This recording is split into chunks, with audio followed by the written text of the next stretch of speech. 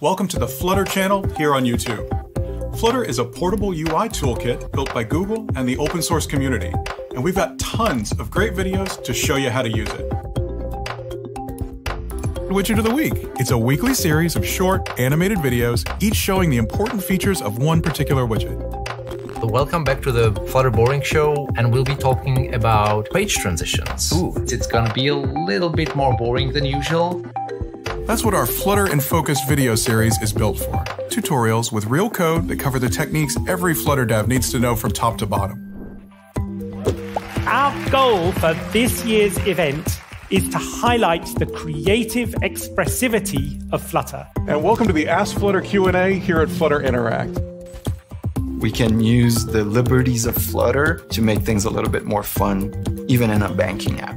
Flutter allowed me to create PatchMe without having to sacrifice on either the app and its functionality or my time with my family. Today we are working on Dashcast. Did somebody say Dashcast? So check us out and hit the subscribe button to be notified when new stuff gets released. We have a lot to show you.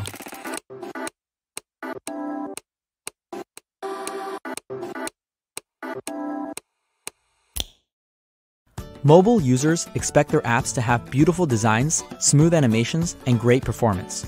To deliver on this, developers need to create new features faster than ever without compromising on quality or performance. That's why we built Flutter. Flutter is Google's mobile UI framework that provides a fast and expressive way for developers to build native apps on both iOS and Android. This is because apps and interfaces made with Flutter are built from a single codebase, compiled directly to native ARM code use the GPU, and can access platform APIs and services. Here are three ways that Flutter will help you on day one. Flutter is engineered for high developer velocity. Stateful Hot Reload allows you to change your code and see it come to life in less than a second without losing the state of the app. Flutter also ships with a rich set of customizable widgets, all built from our modern reactive framework. Plus, Flutter integrates with popular development tools, which means you can get started quickly with the editor or IDE you already know and love. Flutter moves the widgets, rendering, animation, and gestures into the framework to give you complete control over every pixel on the screen. This means you have flexibility to build custom designs. Flutter apps follow platform conventions and interface details such as scrolling, navigation, icons, fonts, and more. This is why apps built with Flutter are featured on both the App Store and Google Play Store. Flutter is great for developers both new and experienced in mobile. If you're new to mobile, Flutter gives you a fast, fun, and modern way to deliver native apps. If you're an experienced mobile developer, you can add Flutter to your existing workflows and tools to build new expressive UIs. Flutter is free and open source and used by developers and organizations around the world, including enterprise, agencies, and startups. Visit flutter.io to get started today. We can't wait to see what you build.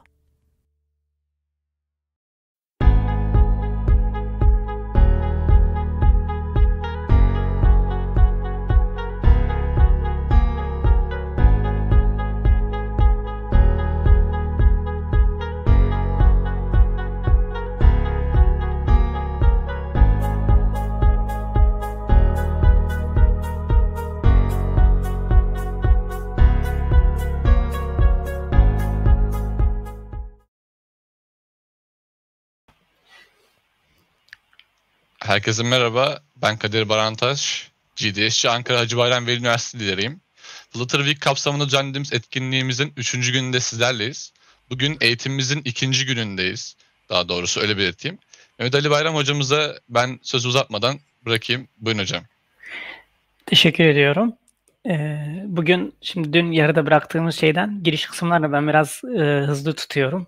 E, konuya gire, direkt gireceğim ama biraz geç kalan arkadaşlar için de e, ön hazırlık olsun diye dün biz yayındayken bugün Flutter tarafını anlatacağımız için e, tam bizim yayında olduğumuz saatlerde Flutter'da da güzel bir gelişme oldu. Şöyle istersen benim ekranımı da yayına ver. Flutter e, 2.10 tanıtıldı buradaki en güzel nokta şu oldu. Özellikle e, Windows tarafı. Ben tabii sonrasında ufak bir iki deneme yaptım. Onları da göstereyim size diğer arkadaşlar gelinceye kadar. Bir tık onları beklemiş oluruz. Hem neler yapabiliyorsunuz onu da görmüş olursunuz Flutter ile. Şimdi e, tanıtılan en önemli nokta buydu. Zaten herkesin beklediği noktalardan biri de buydu. e, mobil dünyanın e, Android'i neyse desktop dünyasının da Windows'u o. Yani çok popüler. Windows şu anda piyasadaki bilgisayarların çoğunda çalışan işletim sistemi. Dolayısıyla uygulama geliştireceğiniz zaman eğer masa üstüne hedefliyorsanız e, mutlaka ama mutlaka Windows için de uygulama geliştirmek istersiniz. E, özellikle de bir şirketseniz. Windows için bundan sonra ekstra hiçbir şey yapmanıza gerek yok. Aslında yazdığınız kod direkt olarak Windows'ta da çalışıyor olacak ve uygulamayı e, markette de direkt yayınlayabileceğiniz formatta çıktı alabileceksiniz. Buradaki makaleyi zaten Google'a Flutter 2.10 yazdığınız zaman bu makaleye rahatlıkla ulaşabilirsiniz. Ben eklemeyeceğim şey tarafına rahatlıkla erişebileceğiniz için. Bunun güzel bir e, yayını oldu 20-30 dakikalık. E, orayı da mutlaka izleyin. Onun dışında da güzel değişiklikler oldu. E, yapılan iyi yani sevdiğim güzel değişikliklerden birini size göstereyim. Ufakta bir demo yaptım zaten. E, şurası oldu. Material 3 dediği yerde güzel bir değişiklik oldu. Ben zaten bu konuyu biraz e, seviyordum. Üzerinde uğraşıyordum da. Şurada göstereyim. Daha önce e, tabii şu anda kodları gördüğünüzde ne olduğunu çok da e, anlamıyor olacaksınız ama gösterdiğim zaman ne olduğunu daha iyi göreceksiniz. Uygulamanın çalışan şeklini göstereceğim size. E, uygulamanın tema tarafını ben olabildikçe e, esnek bırakmayı seviyorum. Yani kullanıcı istediği gibi yapabilsin uygulamasını diye. Ama örneğin e, şu uygulamada, burada gördüğünüz uygulamada biz kullanıcıya e, tam hatırlamıyorum ama bir 8-10 seçenek sunuyoruz. Yani 8-10 tane seçenek e, renk şeması içinden bir e, renk seçiyor. Şöyle bakalım uygulamanın çalışır şekline siz de hemen e, ulaşabiliyor olacaksınız. Oxford 5000.web.app bu şu anda kodlarını gördüğünüz, şurada kodlarını gördüğünüz uygulamanın e, çalışan şekli ve tamamen Flutter. Yarınki yapacağımız uygulama için de bu şekilde yayınlamayı planlıyorum. Şu anda e, Firebase üzerinde uygulama yayında web tarafı ve e, webde çalışan arkadaşlar için hemen söyleyeyim full responsive yani bu ekran genişliğine göre şöyle gördüğünüz gibi e, aksiyon alıp kendini ona göre ayarlıyor. Diğer uygulamayı da arka tarafta görmüş oldunuz bu arada. O da bugün göstermek istediğim uygulama. E, şimdi bu uygulamanın gördüğünüz gibi e, bayağı hoş web üzerinde gayet de güzel çalışıyor. E, kendiniz girip deneyebilirsiniz. Şurada renkler bölümünü yani ayarlar bölümünde ben renkleri e, verirken e, şu kadar renk seçeneği vermiştim. Yani 15-20'den fazlaymış. E, kaç tane olduğunu bilmiyorum bu arada o yüzden. Şu an saymaya da gerek yok. E, ama bu kadar renkten herhangi bir rengi seçip e, uygulamanızın temasını anında değiştirebiliyorsunuz. Burada gördüğünüz gibi. Şu anda karanlık temada olduğu için renkler çok net belli olmuyor ama aydınlık temaya geçtiğimde e, renkler biraz daha belli. Şurada e, şöyle biraz daha açık renkli bir renge ya da kırmızının tonlarından bir e, tona geçersek daha iyi görüyor olacaksınız. Yani kullanıcı uygulamayı istediği e, renkte hoşuna giden tarzda kullansın. E, bu şeyi ben seviyorum biraz olabildikçe esnek olmayı. E, ama dünkü gelişme bunu e, tabii bunu yapmak da yani şu anki şekli yapmak da çok zor değil ama bunu aşırı kolaylaştırdı. Yani bu işi bir satırda yapabildiğinizi düşünün. Neredeyse bir satır. O da şurada gördüğünüz satır. Yani aslında bu bir satır. Şuradaki bir, alttaki de koyu temanın bir satırı. Yani toplamda iki satır gibi düşünebilirsiniz. Toplam bütün kodu toplasanız da yani bu işi başarmak için yapacağınız bütün kodu toplasanız da 15-20 satırı geçmiyor. Ama benim burada sunduğum şekliyle 15, 20, 30 isterseniz 50 deyin fark etmez. Dün açıklanan e, sistemi göstereyim size. Burada bu yeni sistemle tasarladığım şey. Burada şöyle bir seçenek geliyor. Tıklıyorum. Gördüğünüz gibi burada tamamen uygulamanın rengini siz istediğiniz gibi yapıyorsunuz. Yani kullanıcınız şu anda bu bir bu arada onu da söyleyeyim. Bu da e, macOS uygulaması. Yani bu bir web uygulaması değil. Bu da macOS tarafında ve yine Flutter. Yani Flutter'ın e, ne olduğunu e, canlı örnekler üzerinde gösteriyorum şu anda size. Ve e, kaç tane seçenek sunmuş oluyoruz kullanıcıya?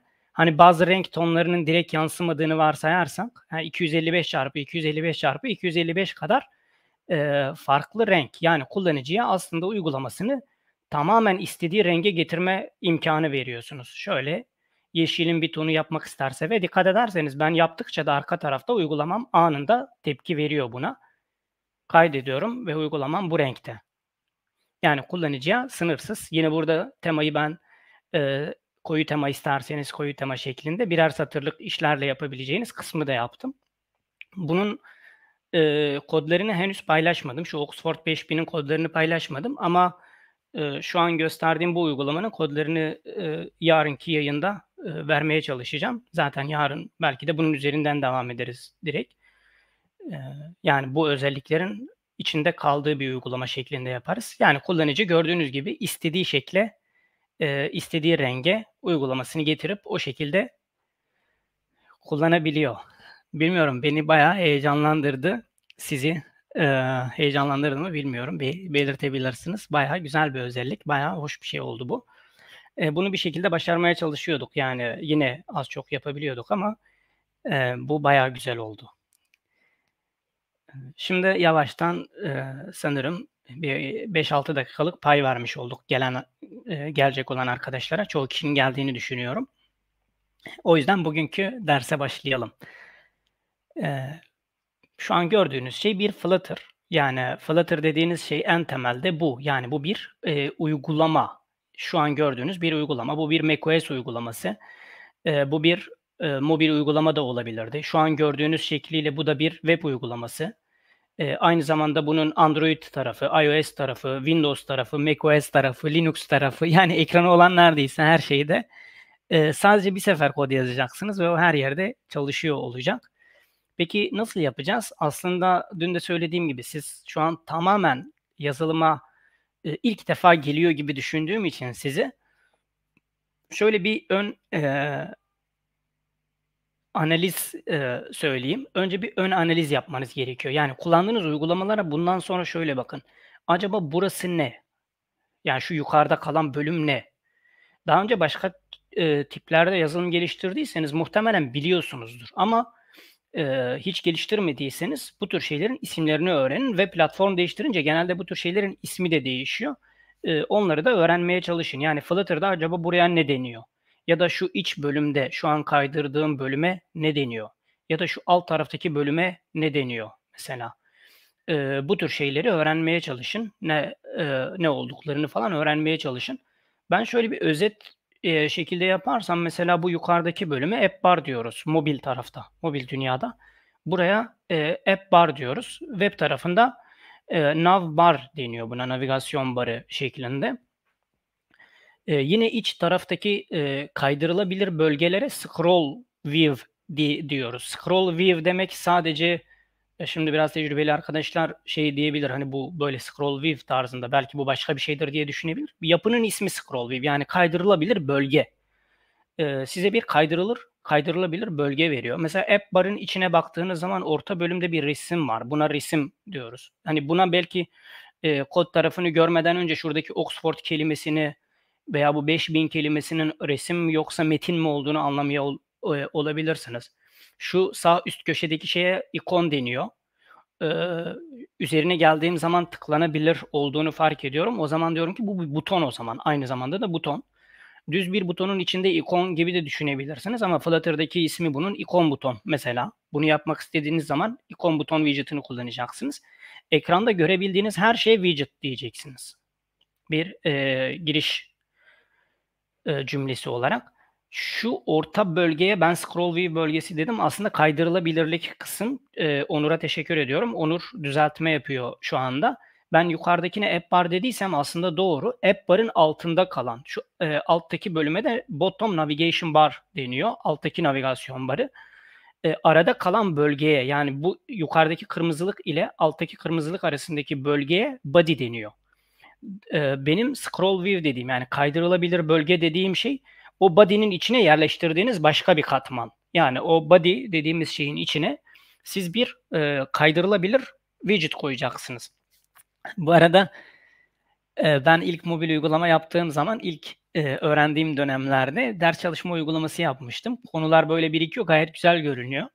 E, diyelim ki şurada kaç tane var? 1, 2, 3, e, 6 tane kelime görüyorsunuz. Bir de yedincisinin yarısını görüyorsunuz. Ekranı yan çevirdiğim zaman e, uygulamam da yan dönüyordu ama bu sefer 3 tane tek ekranda var. Kötü tarafı şu ben scroll view nedir bilmiyordum ilk dönemde o biraz da çocuk sayılırdım. E, scroll view nedir bilmiyordum. Dolayısıyla alttaki butonlarıma ve konu başlıklarıma erişemiyordum. Yani onlar altta e, kaybolup gidiyordu. Dolayısıyla nasıl yapılacağını bilmiyordum. E, o yüzden buranın ismi Scrollview ve yapmak istediğiniz zaman kullanabileceğiniz e, widgetlarınız var. Temel olarak ilk önce bu yapıyı öğrenmeniz gerekiyor. Yani burada neler var bilmeniz gerekiyor. İlk defa yazılıma başlayan arkadaşlar. Diğer alanlardan gelen arkadaşlar için şu an söylediğim şeyler çok sıkıcı da geliyor olabilir. Yani uygulamanın yapısını anlamanız gerekiyor. Yani ne yapacaksınız? Önce ona bir karar verin ve yapacağınız şeyin parçalarını öğrenmeye çalışın. Bundan sonra kullandığınız her uygulamaya bu gözle bakın. Yani WhatsApp'ı açarken WhatsApp'ta neresi nedir falan bu tür şeylere dikkat ederek e, anlamaya çalışarak ilerleyin. Şimdi dün biz e, Dartpad üzerinden devam etmiştik. Bugün yine Dartpad üzerinden devam edeceğiz. Dün söylediğim şeyi tekrar ediyorum. E, yazılıma sıfırdan başlıyorsanız kesinlikle e, Dartpad ile ilerleyin. Flutter'ın da ta ileri seviyelerine kadar Dartpad işinizi görüyor olacak. E, ama yarınki derste biz Visual Studio e, kullanacağız. GitHub üzerinde kodlarımızı da yayınlıyor olacağız. Orada biraz daha farklı e, geliştirme ortamı görmüş olacaksınız. E, eğer kurabiliyorsanız yarına kadar deneyin. E, Flutter'ı ve Visual Studio kodu kurmaya çalışın. Eğer kuramazsanız da problem değil. E, Dartpad.dev'i uzun bir süre boyunca kullanabilirsiniz. Ben şimdi bu projeyi değiştireceğim. E, şöyle değiştireceğim. E, Dartpad üzerinde Flutter uygulama geliştirebilecek şekle sokacağım. Yani şurada gördüğünüz yapıları nasıl kodlayacağız onu göreceğiz. E, burada çünkü şu an ekranda gördüğünüz yerde birçok temel widget var. Yani tem, bir uygulamayı gerçekleştirebilmeniz için, bir uygulamayı yaratabilmeniz için e, gerekli malzemelerin çoğu burada kullanılmış. Dolayısıyla şu an ekranda gördüğünüz malzemelerin e, neler olduğunu öğrenirseniz birçok şey öğrenmiş olacaksınız. Yani bunları bir e, Lego parçaları gibi düşünebilirsiniz. Ne kadar çok çeşit Lego parçanız varsa, ne kadar çok Lego e, parçasının çeşidini biliyorsanız o kadar yaratıcı ve o kadar ilginç e, şeyler ortaya koyabilmeniz mümkün oluyor. Şimdi bu Dartpad'de yazdığımız kodlar kaybolmasın diye ben bunları kopyalıyorum. Ctrl A ile tümünü seçtim. Ee, burada çok kısa bir 2-3 dakikalık e, bir nevi ara gibi bir şey olacak. Bu konumuzla ilgili değil ama ekstradan bir bilgi olacak. Onu da öğrenmiş olursunuz. Burada benim yazdığım koda şu an hepinizin erişebilmesini sağlayacağım. Ben buraya yazdım kaybolmasınlar diye.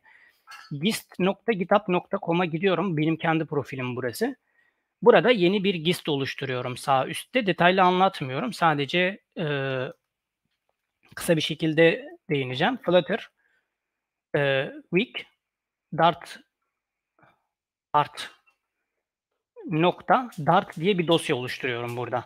Şu nokta dart önemli. Bunun dart olduğunu belirtmiş oluyorum ve oradan kopyaladığım kodları buraya yapıştırıyorum. Alt tarafta biraz benim için dün görüntüyü e, görebilirsiniz diye oluşturduğum boşluklar var. Önemli değil kodlarınız yukarıda yapıştı. Şimdi e, secret değil, gizli değil, public bir e, gist oluşturuyorum ve bunu yayınlıyorum. Bunu yayınladığım zaman yukarıda bana bir ID veriyor. Ben şimdi bu ID'yi alıp Dartpad'de şu soru işareti yerine yapıştırdığım zaman ve şu kodu sizinle paylaşacağım. Enter'a bastığım zaman bu kod benim yazdığım kodlara erişebilmiş olacaksınız. Yani dün yazdığımız kodlar bir yere kaybolmadı. E, ulaşmak isteyenler e, buradan ulaşabilirler.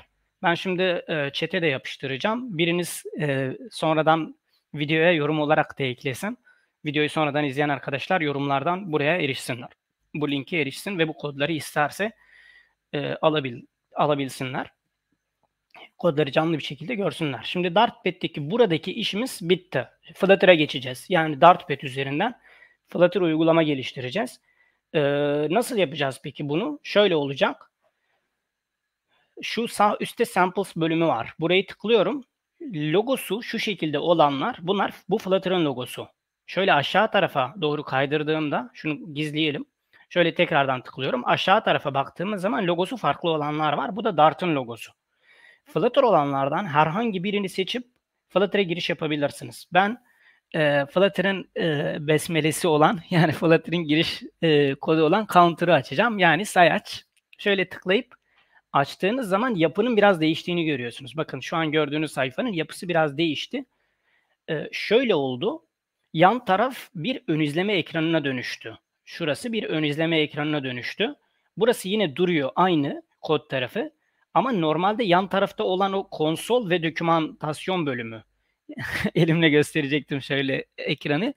Şu yukarı buranın üst kısmı konsoldu. Alt taraf dokümantasyon bölümüydü. Onlar buraya geldiler. Konsol burada, dokümantasyon burada. Bu şu işe yarıyor dokümantasyon bölümü. Siz herhangi bir şeye tıkladığınızda örneğin MyApp'e veya işte Stateless Widget'a tıkladığınız zaman onun hakkında size bilgi veriyor. Yani e, gidip sayfadan da araştırabilirsiniz. Yani mesela acaba e, örnek veriyorum. Şimdi şurada text var mesela. Bu bir text widget'ı. E, ne olduğunu merak ediyorsanız burada sizin için e, biraz anlatmaya çalışıyor. Ne olduğunu anlatmaya çalışıyor. Nasıl kullanacağınızı da burada gösteriyor. Dolayısıyla bayağı e, pratik bilgiler veriyor. Konsola da konsol hatırlıyorsanız dün print etmek için yani aslında çok da hoş olmayan e, çıktı. Hoş olmayan dediğim görüntüsel anlamda güzel değiller. Çünkü bu çok daha güzel. Yani yaptığın şeyi capcanlı görüyorsun. Dart çalışırken de burayı kullanabilirsiniz.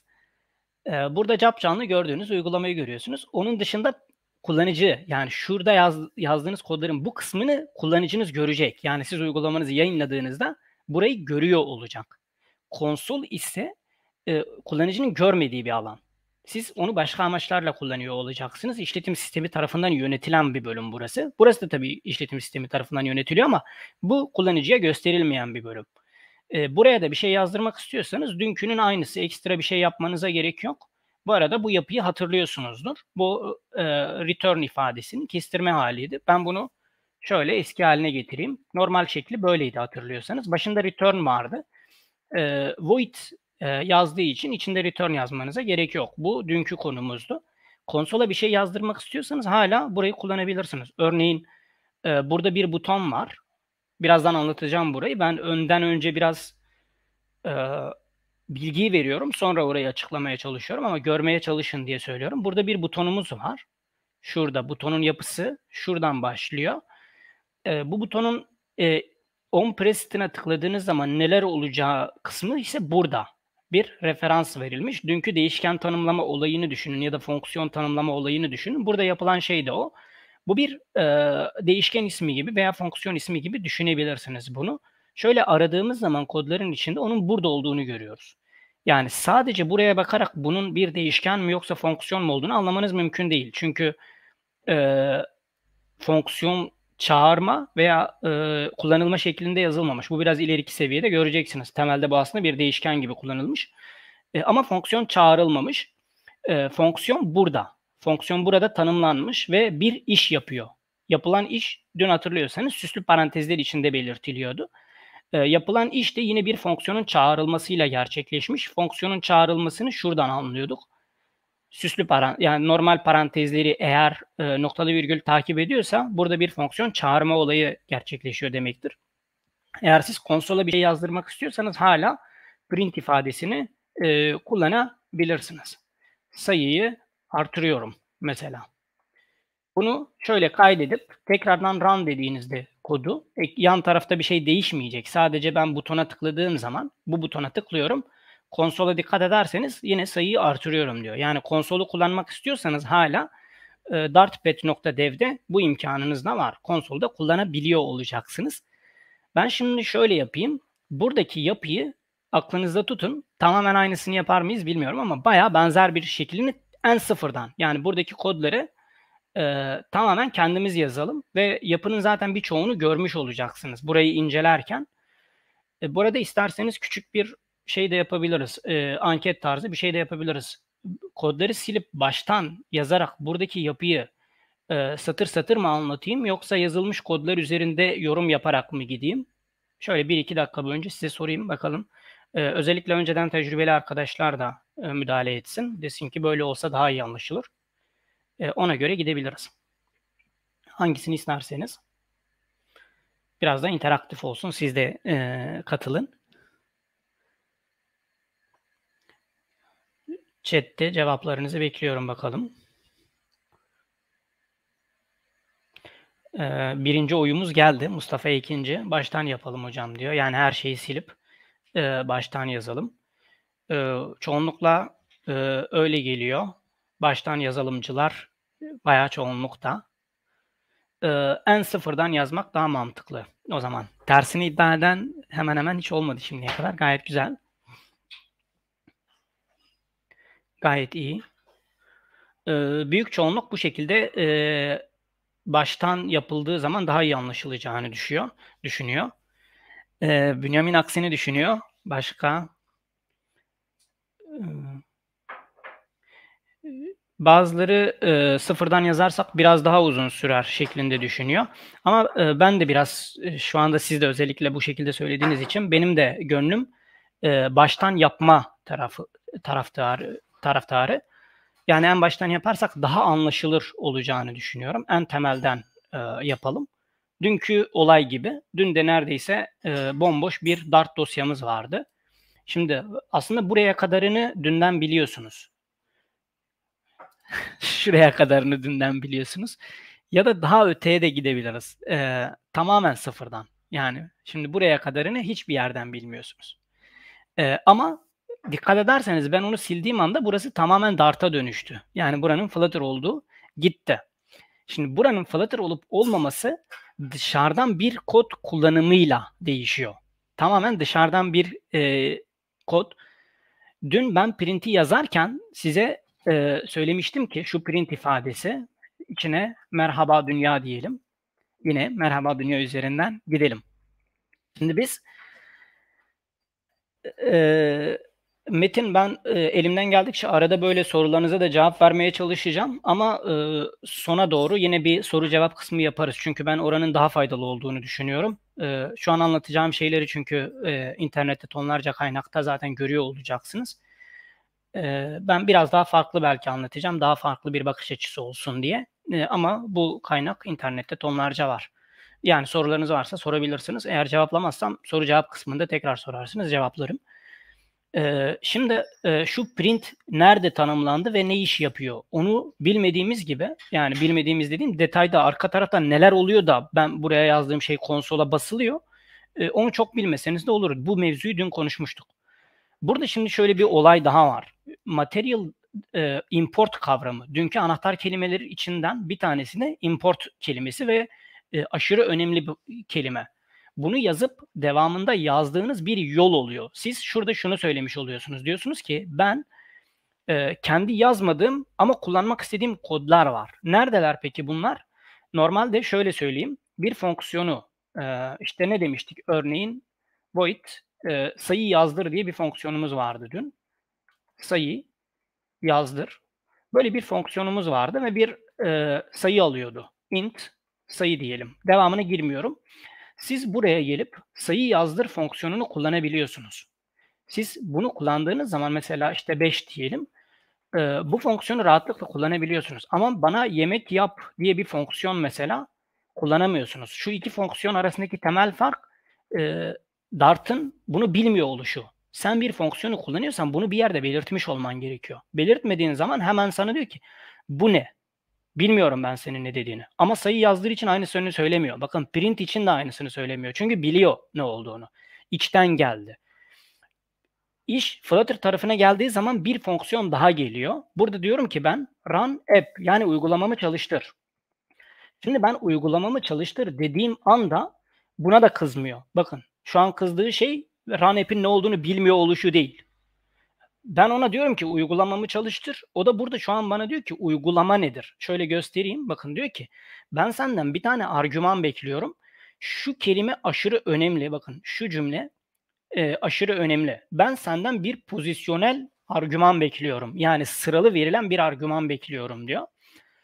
Bir fonksiyon tanımlandığı yerde eğer bu şekilde değişken yani parametresi bu şekilde tanımlandıysa e, buna e, pozisyonel argüman diyoruz. Yani gönderiyorken sırayla gönderirsiniz. Örneğin int sayı 1 virgül int sayı 2 dediğim zaman ben buraya 5 ve e, 6'yı gönderdiğim zaman sırasından dolayı biliyorum ki 5 sayı 1, 6 ise sayı 2'yi temsil ediyor. E, bu rastgele değindiğim bir konu değil. Flutter'ı anlayabilmeniz için önemli bir konu yeni başlayan arkadaşlar için. Ama şöyle bir şey de yapıyor olabilirdik. Bunları mesela parametre olarak bir fonksiyona gönderirken süslü parantezler içine alabilirsiniz. Süslü parantezler içine aldığınız zaman bunlar artık pozisyonel argüman olmaktan çıkıyor. isimlendirilmiş argümana dönüşüyorlar ve zorunlu olmaktan çıkıyorlar. Yani siz bunu göndermeden de fonksiyonunuzu çalıştırabiliyorsunuz. Bu parametreleri göndermeseniz bile. Bu parametrelerin zorunlu olduğunu söylemek için ekstra bir anahtar kelime kullanmanız gerekiyor. Required. Yine aynı şekilde bunun da zorunlu veya bunun zorunlu olmadığını söylüyorsanız o zaman şöyle söylemeniz gerekiyor. Ek bir bilgiye daha girmiş olalım. Soru işaretiyle bunun null olabileceğini söylüyorsunuz. Yani bu değer almayabilir. Tamam ben tanımladım, isim verdim ama değer almayabilir demiş oluyorsunuz. Soru işareti o anlama geliyor. Ee, soru işaretinin detayını merak ediyorsanız null safety konusunu araştırmanız gerekiyor. İnternette güzel videolar var null safety. Ee, benim kanalda da var. Oradan da bakabilirsiniz bu null safety olayına. Çünkü bir tık e, karışık gelebiliyor bazı insanlar. O yüzden bulabildiğiniz kadar farklı kaynaktan öğrenmeye çalışın. Hangi e, anlatıcının frekansı size uyuyorsa ondan daha iyi anlayacaksınız. Şimdi şurada required dediğim zaman benim bunu göndermem gerekiyor. Ama bundan sonra parametreyi gönderirken bu e, pozisyonel bir argüman değil de isimli bir argümana dönüştüğü için göndereceğim zaman ismini de söylemem gerekiyor. Burada sayı 1 diyorum. 2 nokta üst üste koyup 5 diyorum. Yani bundan sonra ben bu fonksiyona parametre göndereceğim zaman parametrenin ismini de vermem gerekiyor.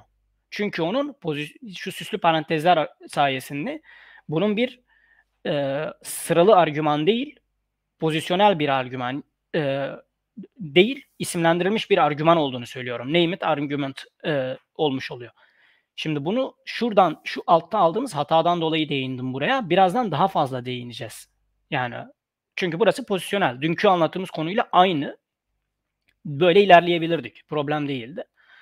Şimdi bu ben buna e, run app dediğim zaman benim uygulamamı çalıştır dediğim zaman benden bir parametre bekliyor. Ama nasıl bir parametre şu an onu bilmiyorum. E, hata koduna bakıyorum orada da yazmıyor. Acaba ne istiyor benden? Yani ben buraya mesela sayı göndersem olacak mı? Ya da yukarıdaki gibi bir string ifade yani uygulama desem mesela bunu çalıştıracak mı?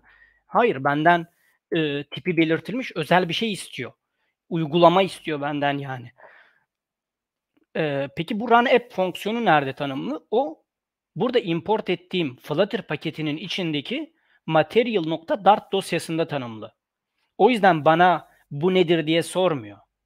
Ben ona demiş oluyorum ki buradaki bütün kodları kullanabilirsin. Import kelimesi o anlama geliyor. Sonra geliyorum acaba orada yani material.dart'ın içinde bu yazılırken, bu fonksiyon tanımlanırken parametre olarak ne istiyor olabilir? Bunu en kestirme öğrenme yöntemi şöyle mouse'unuzla üzerine gelip dokümantasyona bakmanız. Dokümantasyona geldiğiniz zaman şurada e, detaylı bir şekilde giriyor.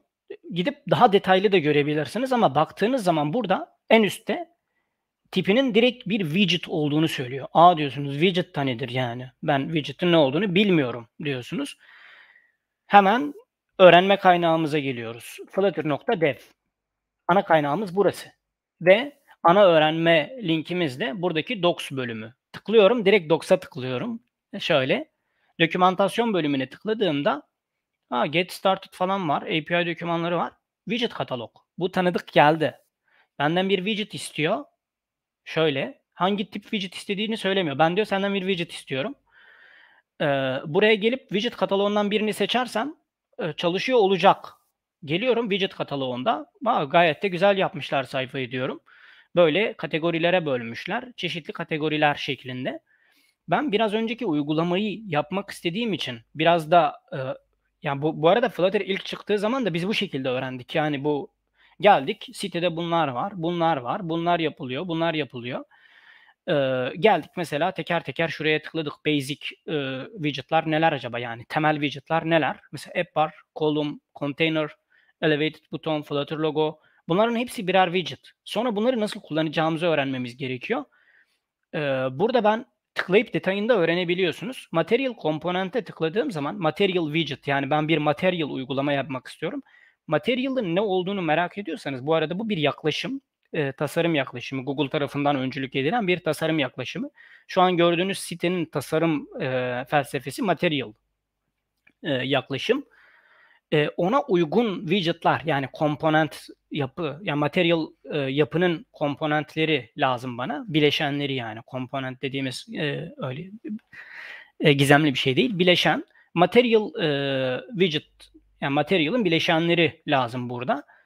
E, gelip burada baktığınız zaman detaylı bir şekilde bir sürü widget görüyorsunuz. Ama burada bir tane widget var. Bu arada gördüğünüz her şey widget. Ve Material App diye bir widget var. Ben diyorum ki bu en azından isminde uygulama var. E bu da benden uygulama istiyor. O zaman tamam herhalde bunu seçebilirim. Peki nasıl kullanacağım? Geliyorum. E, Material App Class diyor. Bu Dart konusu. Dart'ın anahtar kelimelerinden biri bu.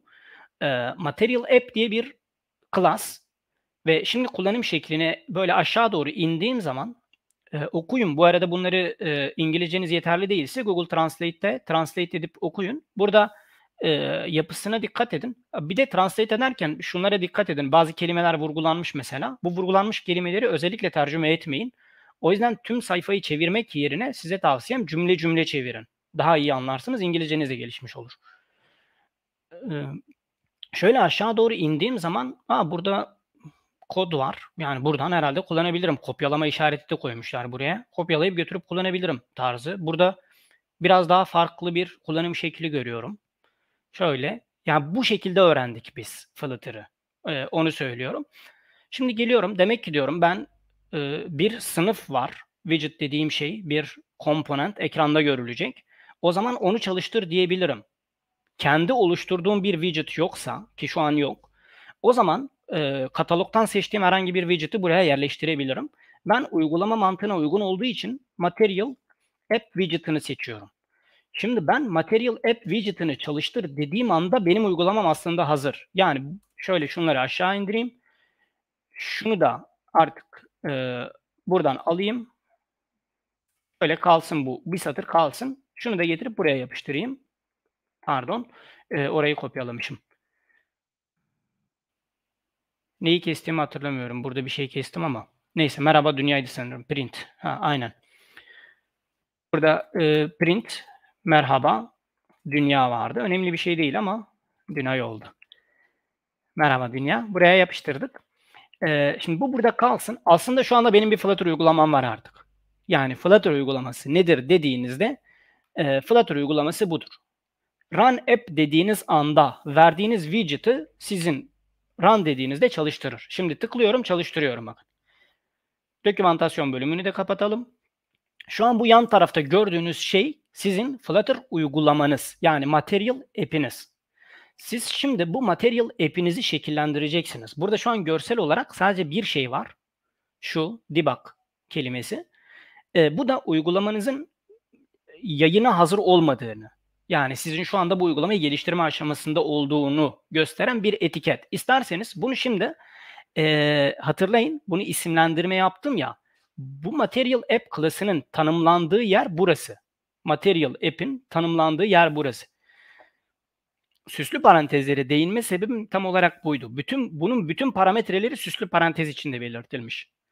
Dolayısıyla siz e, bu arada şeye de gireyim. Şurada ben e, parantez koyduğum zaman aslında ben bir fonksiyon çağırmış oluyorum. Ama bu fonksiyon biraz özel bir fonksiyon. Buna yapıcı fonksiyon diyoruz. Bunu çağırdığınız zaman bir nesne üretilmiş oluyor. Yani bir widget olduğu için bu bir widget üretilmiş oluyor. E, ama en nihayetinde sizin bir fonksiyon çağırıyor olmanızı değiştirmiyor. Siz hala bir fonksiyon çağırıyorsunuz. O zaman ben buna parametre gönderebilirim. Mesela şurada ben parametre göndermediğim zaman bir de şurada parametre gönderme kısmı aşırı önemli. Parametre gönderme kısmı bir fonksiyona parametre gönderme kısmını anlarsanız bütün widgetların kullanım mantığını anlıyor olacaksınız. Mesela ben buna null olabilir dedim ya. Aslında ben buna şunu da diyebilirdim. Sen null olama ama varsayılan bir değerin olsun. Mesela eğer sayı 2 gönderilmezse onun 4 olduğunu varsayıyorum. Buna varsayılan değer diyoruz. Material app'in içindeki constructor'ındaki yapıların çoğu da varsayım. Bu mesela gösterilsin mi gösterilmesin mi diye bir parametrem var. Şöyle geliyorum bakın dokümantasyon bölümünde genişletiyorum burayı. Ee, buradan şunu bulmaya çalışıyorum. Yani bunun var olmasına, bunun gösterilmesine sebep olan ne acaba? Ee, bu arada Flutter ilk çıktığı zaman bazı yabancı haber sitelerinde falan da şöyle bir şey vardı. Google no code işine giriyor diye. Yani hiç kod yazmadan uygulama oluşturma işine giriyor diye. Çünkü e, Flutter biraz öyle. Konuşma diline çok yakın. Yani bir kod yazma hissinden çok sanki biriyle konuşuyormuşsunuz hissi veriyor size. Yani diyorsun ki İngilizce konuşuyorsun tabii. Uygulamamı çalıştır. E, uygulamamın ismi Material App. E, bu Material App'in parametreleri var. Mesela şurası. Dikkat ederseniz varsayımsal yani varsayılan değeri bunun true. Yani ben bunu false yaparsam debug show checked banner mod banner yani e, debug modu mod banner'ı aktif mi değil mi? Ben gelip burada bu parametreyi e, bu arada ben kopyalayınca aşağıyı kopyalamadı. O yüzden böyle oldu. Ee, bunu teker teker yazarsam kelime hatası yaparım, harf hatası yaparım diye teker teker yazmıyorum. Çok da gerekli bir şey de değil zaten bunu e, ezberleyip yazmanız. False dediğim zaman tekrardan çalıştırıyorum şimdi uygulamamı. Ve e, bir tık yavaş olabilir sorun değil. Şu anda uygulamam daha güzel oldu. Yani daha güzel olduğundan kastım. E, artık debug öz, etiketi yok. Ama uygulamam bu mu? Yani sizin bir uygulamanız mı bu? Evet bu sizin şu anda bir uygulamanız. Yani bu gördüğünüz şu anda bir Flutter uygulaması. Sizin oluştu göndereceğiniz parametrelerle bu virgülleri yerleştirip kodu format diyorum. Şeklini düzeltsin diye. Okunurluğu daha güzel olsun diye böyle yaptım. Şimdi geliyorum diğer bir parametre daha göndereceğim. Yani bunu hani sayı 1, sayı 2 gibi düşünebilirsiniz. Bunun başka başka parametreleri var. Siz bu parametreleri e, parametrelere değer atadıkça e, uygulamanızı ortaya çıkarmış oluyorsunuz. Mesela home diye bir parametresi var bunun.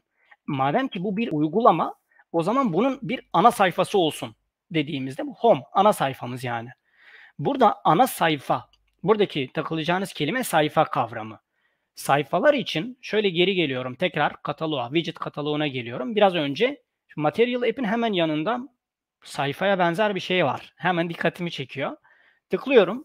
Tabii e, tamamen tesadüfi bir şey değil. Ben bildiğim için şu an yönlendirmeli gidiyorum ama kendiniz böyle deneme yanılma yoluyla biraz önce yaptığım aynısını yapabilirsiniz. Aynı yere varırsınız. Bol bol hata da yapabilirsiniz. Hiç e, korkmayın, çekinmeyin. Bol bol hata da yapın ve bu tür şeyleri oluşturun. Şimdi geldim ben, aa scaffold, güzel. E, bu arada şunu da yapın bence benim tavsiyem ya götürün bu scaffold acaba Google Translate'te ne anlama geliyor? Ya da Material App Google Translate'te ne geliyor? Bazıları özel isim olacak. Bir anlam vermiyor olacak. E, ama birçoğunun anlamı olacak. Bu bir iskele. Scaffold'a sayfa iskelesi diyebilirsiniz. Yani ben diyorum ki o zaman scaffold isminde benim ana sayfam scaffold isminde bir widget olsun. İsmi scaffold. Tekrardan çalıştırıyorum uygulamayı. Böyle adım adım çalıştırın bu arada uygulamanızı. Şimdi benim scaffold'um oluştuğu zaman sayfa beyaz. Artık sayfa var. Yani beyaz e, sayfa olduğu için beyaz. Şöyle tıklıyorum. Ee, geliyorum bunun içinde de bir sürü şey varmış. Bakın dikkat edin. Bir sürü şey var burada. Yani ben aslında bunu baya baya e, kendime uyarlayabilirim. O zaman geliyorum buraya. Diyorum ki mesela ben bu scaffold'u e, app bar diye bir parametresi var. Bu parametreleri ben kendim uydurmuyorum. Dikkat edin şöyle tıkladığım zaman bunun tanımlandığı yer. Bu bir fonksiyonun parametrelerinin tanımlandığı yer. Gördüğünüz gibi de süslü parantezler içinde. Süslü parantezler içinde ise sıra önemli değil. Önemli olan parametrenin ismini yazmanız. Mantık o. E, app bar'a nasıl bir parametre vermem gerekiyor? Scaffold'a gidip bakarsanız buraya verebileceğiniz bazı parametreler var ve e, burada app bar verilmiş. Siz de buna benzer başka şeyler de verebilirsiniz ama AppBar e, parametresine verilebilecek en güzel parametre e, değerlerden biri AppBar widget'ı. Yani ismi AppBar olan bir e, komponent, bir widget. AppBar. Şimdi şöyle e, fonksiyona parametre gönderirken sonraki parametreyi ekleyebilmeniz için araya virgül ekliyorsunuz. O virgülü e, sık sık eklemeye çalışın. Sonra siz kodunuzu format dediğinizde sizin için güzel bir şekilde formatlayacaktır. Şimdi tekrardan çalıştırıyorum. Uygulamamdaki değişiklikleri görelim. Şöyle geldi artık tabbarım var. Yani yavaş yavaş bir uygulamaya benzemeye başladım. O güzel diyorum. Şimdi bu scaffold'a ekstra mesela body de verebiliyorum. Biraz önce şu sayfayı gösterdiğimde orta bölüm dediğimde bahsedilen kısım bu body. Ee, dolayısıyla geliyorum bu body'ye. Diyorum ki sana da şöyle bir e, widget verelim. Kolum. Şimdi kolumda işler biraz değişecek. Kolum, app var. E, iki tane widget'ım var. Bunu çalıştırdığımda aslında burada hiçbir şey olmayacak. Yani çalıştırıyorum hiçbir şey değişmedi. Şu an çalışma bitip uygulama gelirse de bir şey değişmeyecek. Aynı yapı. Çünkü şu kolum dediğimiz şey e, aslında yapısal bir widget. Yani kendisi bir şey değil. Sizin içine yerleştireceğiniz diğer elemanlara bir e, organizasyon sağlıyor. Yani onları organize ediyor. Column dediğimiz şey e, hani biraz önce dedim ya translate'e götürüp translate edin diye. Translate ettiğinizde göreceksiniz. Kolon, sütun anlamına geliyor. E, buna da baktığınız zaman detayına içine yerleştirdiğiniz elemanları bir kolonun içine yerleştirir gibi alt alta diziyor. Yani elemanları e, alt alta dizmek için kullanabileceğiniz bir widget. Niçin? Çünkü ilk yeri hatırlayın. Bizim e, burada bir metin vardı, ortada bir sayı vardı, burada bir buton vardı. Tıkladığımızda o sayı artıyordu. E, onu oluşturuyor olacağız. Ama yukarıda bir de başlığımız vardı. Şuraya başlığı nasıl getirebiliriz acaba diye düşünüyoruz. AppBar'ın üzerine geldiğim zaman dokümantasyon bölümünden ben şu anda buraya baktığım zaman çoğu şeyi anlıyorum. Ama siz muhtemelen ilk baktığınızda çoğu şeyi anlamayacaksınız. O yüzden size tavsiyem şöyle yapın. Gelip buradan e, App Bar'a gidip bakın. Yani bu App Bar'ın sınıfına gidin. Şöyle geri geliyorum. Scaffold sınıfı dondu mu burası? Dondu sanırım. Ee, buradan tıklayıp gidebilirsem süper olacak. Ah. Yani tamamen şey oldu kendi kendine. Bir şey yapmadım ben. Ee, şimdi App Bar'a tıklayıp geldiğim zaman e, App Bar'ı anlatıyor bana. Görsel olarak anlatıyor bakın.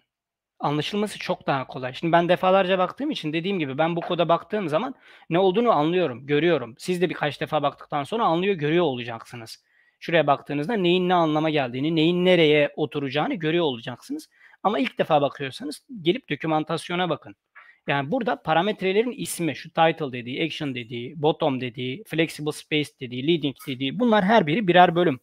Ben şuraya başlık eklemek istiyorsam title dediğim şey yani konuşma diline de bayağı benziyor deme sebebim o. E, title diyorum ve title'a ne vermek istiyorum? Size gösterdiğim bu uygulamada title'da bir resim var. E, ama bizim uygulamamızda bir resim değil metin vardı. Siz metin, metni ekranda göstermek için nasıl bir widget kullanıyor olabilirsiniz? Muhtemelen hani İngilizce biliyorsanız text dersiniz herhalde. Yani hiçbir şey bilmeseniz bile text dersiniz e, az çok bir widget oluşturmuş olursunuz. Bu text widget'ının üzerine tıkladığım zaman farklı bir şey görüyorum. Bakın dikkat edin. Bunun constructor'ının başladığı yer direkt süslü parantezle başlamıyor. Önce süslü parantezsiz bir tane parametresi var bunun. Dolayısıyla bu onu zorunlu ve sıralı yapıyor. Ee, ve isim vermeden çağırabiliyorsunuz. Yani buna değer atamanız için, string bir ifade atamanız için buraya data yazmanıza gerek yok. Siz zaten ilk bölüme ne verirseniz o data olmuş oluyor. Şöyle dokümantasyonu tekrar açıp text'e tıklıyorum. Dediğim gibi onu şuradan anlamış oluyoruz. Sonrası tamamen süslü parantezler içindekiler ve kimi vermeseniz de olur, kimi siz vermediğinizde varsayılan olarak değer alır. Ben şimdi buraya ne diyorum? Ee, güzel uygulamam diyeyim ya da ilk Flutter uygulamam. Bu benim ilk Flutter uygulamam dedim ve tekrardan çalıştırıyorum. Başlığımı burada görebilecek miyim diye. Şimdi bu bir ilkel bir veri tipi. String, metinsel ifade. Dün göstermiştim. Bayağı ilkel ve basit. Dolayısıyla onu direkt ekranda göremezsiniz. O onu sizin ekranda görebilmenizi sağlayan bir widget lazım, bir yapı lazım, bir yardımcı araç lazım. Ona da text diyoruz. Bu widgetleri teker teker nereden buluyoruz? Buradan. Bakın defalarca oraya gidiyorum, oraya geliyorum. Oraya gidiyorum, oraya geliyorum. Yapacağınız şey tamamen bu. Ee, en başta sürekli bunu yapacaksınız. En başta dediğim muhtemelen en sonda da bunu yapıyor olacaksınız. Tamam bazı widgetleri ezberleyeceksiniz. Artık gelip burada bakmak, buradan bakmak zorunda kalmayacaksınız ama e, birçok widget'ı da yine gelip buradan bakarak yapacaksınız. Yani sonuna kadar. Çünkü bütün widget'ları ezberlemenize gerek yok. Lazım olunca hani e, az çok yapıyı anlamaya çalışın. Lazım olduğunca nereden bulabileceğinizi bulun. Yeterli. Flutter geliştirici olmuş oluyorsunuz. Şimdi bu kolonun içine ben geliyorum. Bu sefer şöyle kolonun üzerine tıkladığım zaman e, bunun da bütün elemanları süslü parantezler içinde yani vermesem de sorun olmayacak ki zaten vermediğimde sorun olmayacağını e, vermediğim zaman çalıştırdığımda gördüm. Çalıştı yani problem çıkarmadı bana e, çalıştı. E, ama bu kolon yani içine koyduğum elemanları alt alta diziyorsa bu bir yapıysa e, acaba ben elemanları bunun için nasıl yerleştireceğim? Mesela scaffold için nasıl yerleştireceğimi gördüm. Parametrelerin ismi var. Mesela app bar kısmı var, body kısmı var. İşte şuradaki buton mesela yerleştireceğiz. O da scaffold'un bir parçası. Onu yerleştirelim. Sonra şu koluma geri gelelim. Ee, bazı şeyleri daha iyi anlayabilmeniz için e, biraz değiniyorum. Ee, Mehmet Çakmaktaşı e, şu anda tekste birazcık e, kızıyor. Başına e, const yazınca geçiyor. Neden bunu yazmamızı istiyor? E, bu konu biraz e, başlangıç seviyesi için e, şey const yazayım ve çok özet değineyim. E, bazı şeyler bir sefer yazılırsa bir defa ve e, yazıldığı zaman ne olduğu belliyse çok özet geçiyorum. Yeni başlayan arkadaşlar bu cümlelerimi duymazlıktan gelebilirler. E, onların başına const yazıyorsunuz ve onlar bir daha aynı şekilde bir widget oluşturursanız RAM'de bir daha oluşturulmuyor. Tasarruf sağlıyor size. O yüzden aslında kızmıyor. Size çok küçük bir tavsiyede bulunuyor. Dün söylemiştim ya mavi renkli uyarılar diye. Bunlar ufak tavsiyeler. Kızmıyor. Yani ben senin yerine olsam diyor. Buraya const yazarım. Uygulamam daha performanslı olur. Bir öneride bulunuyor. Küçük bir öneri bu.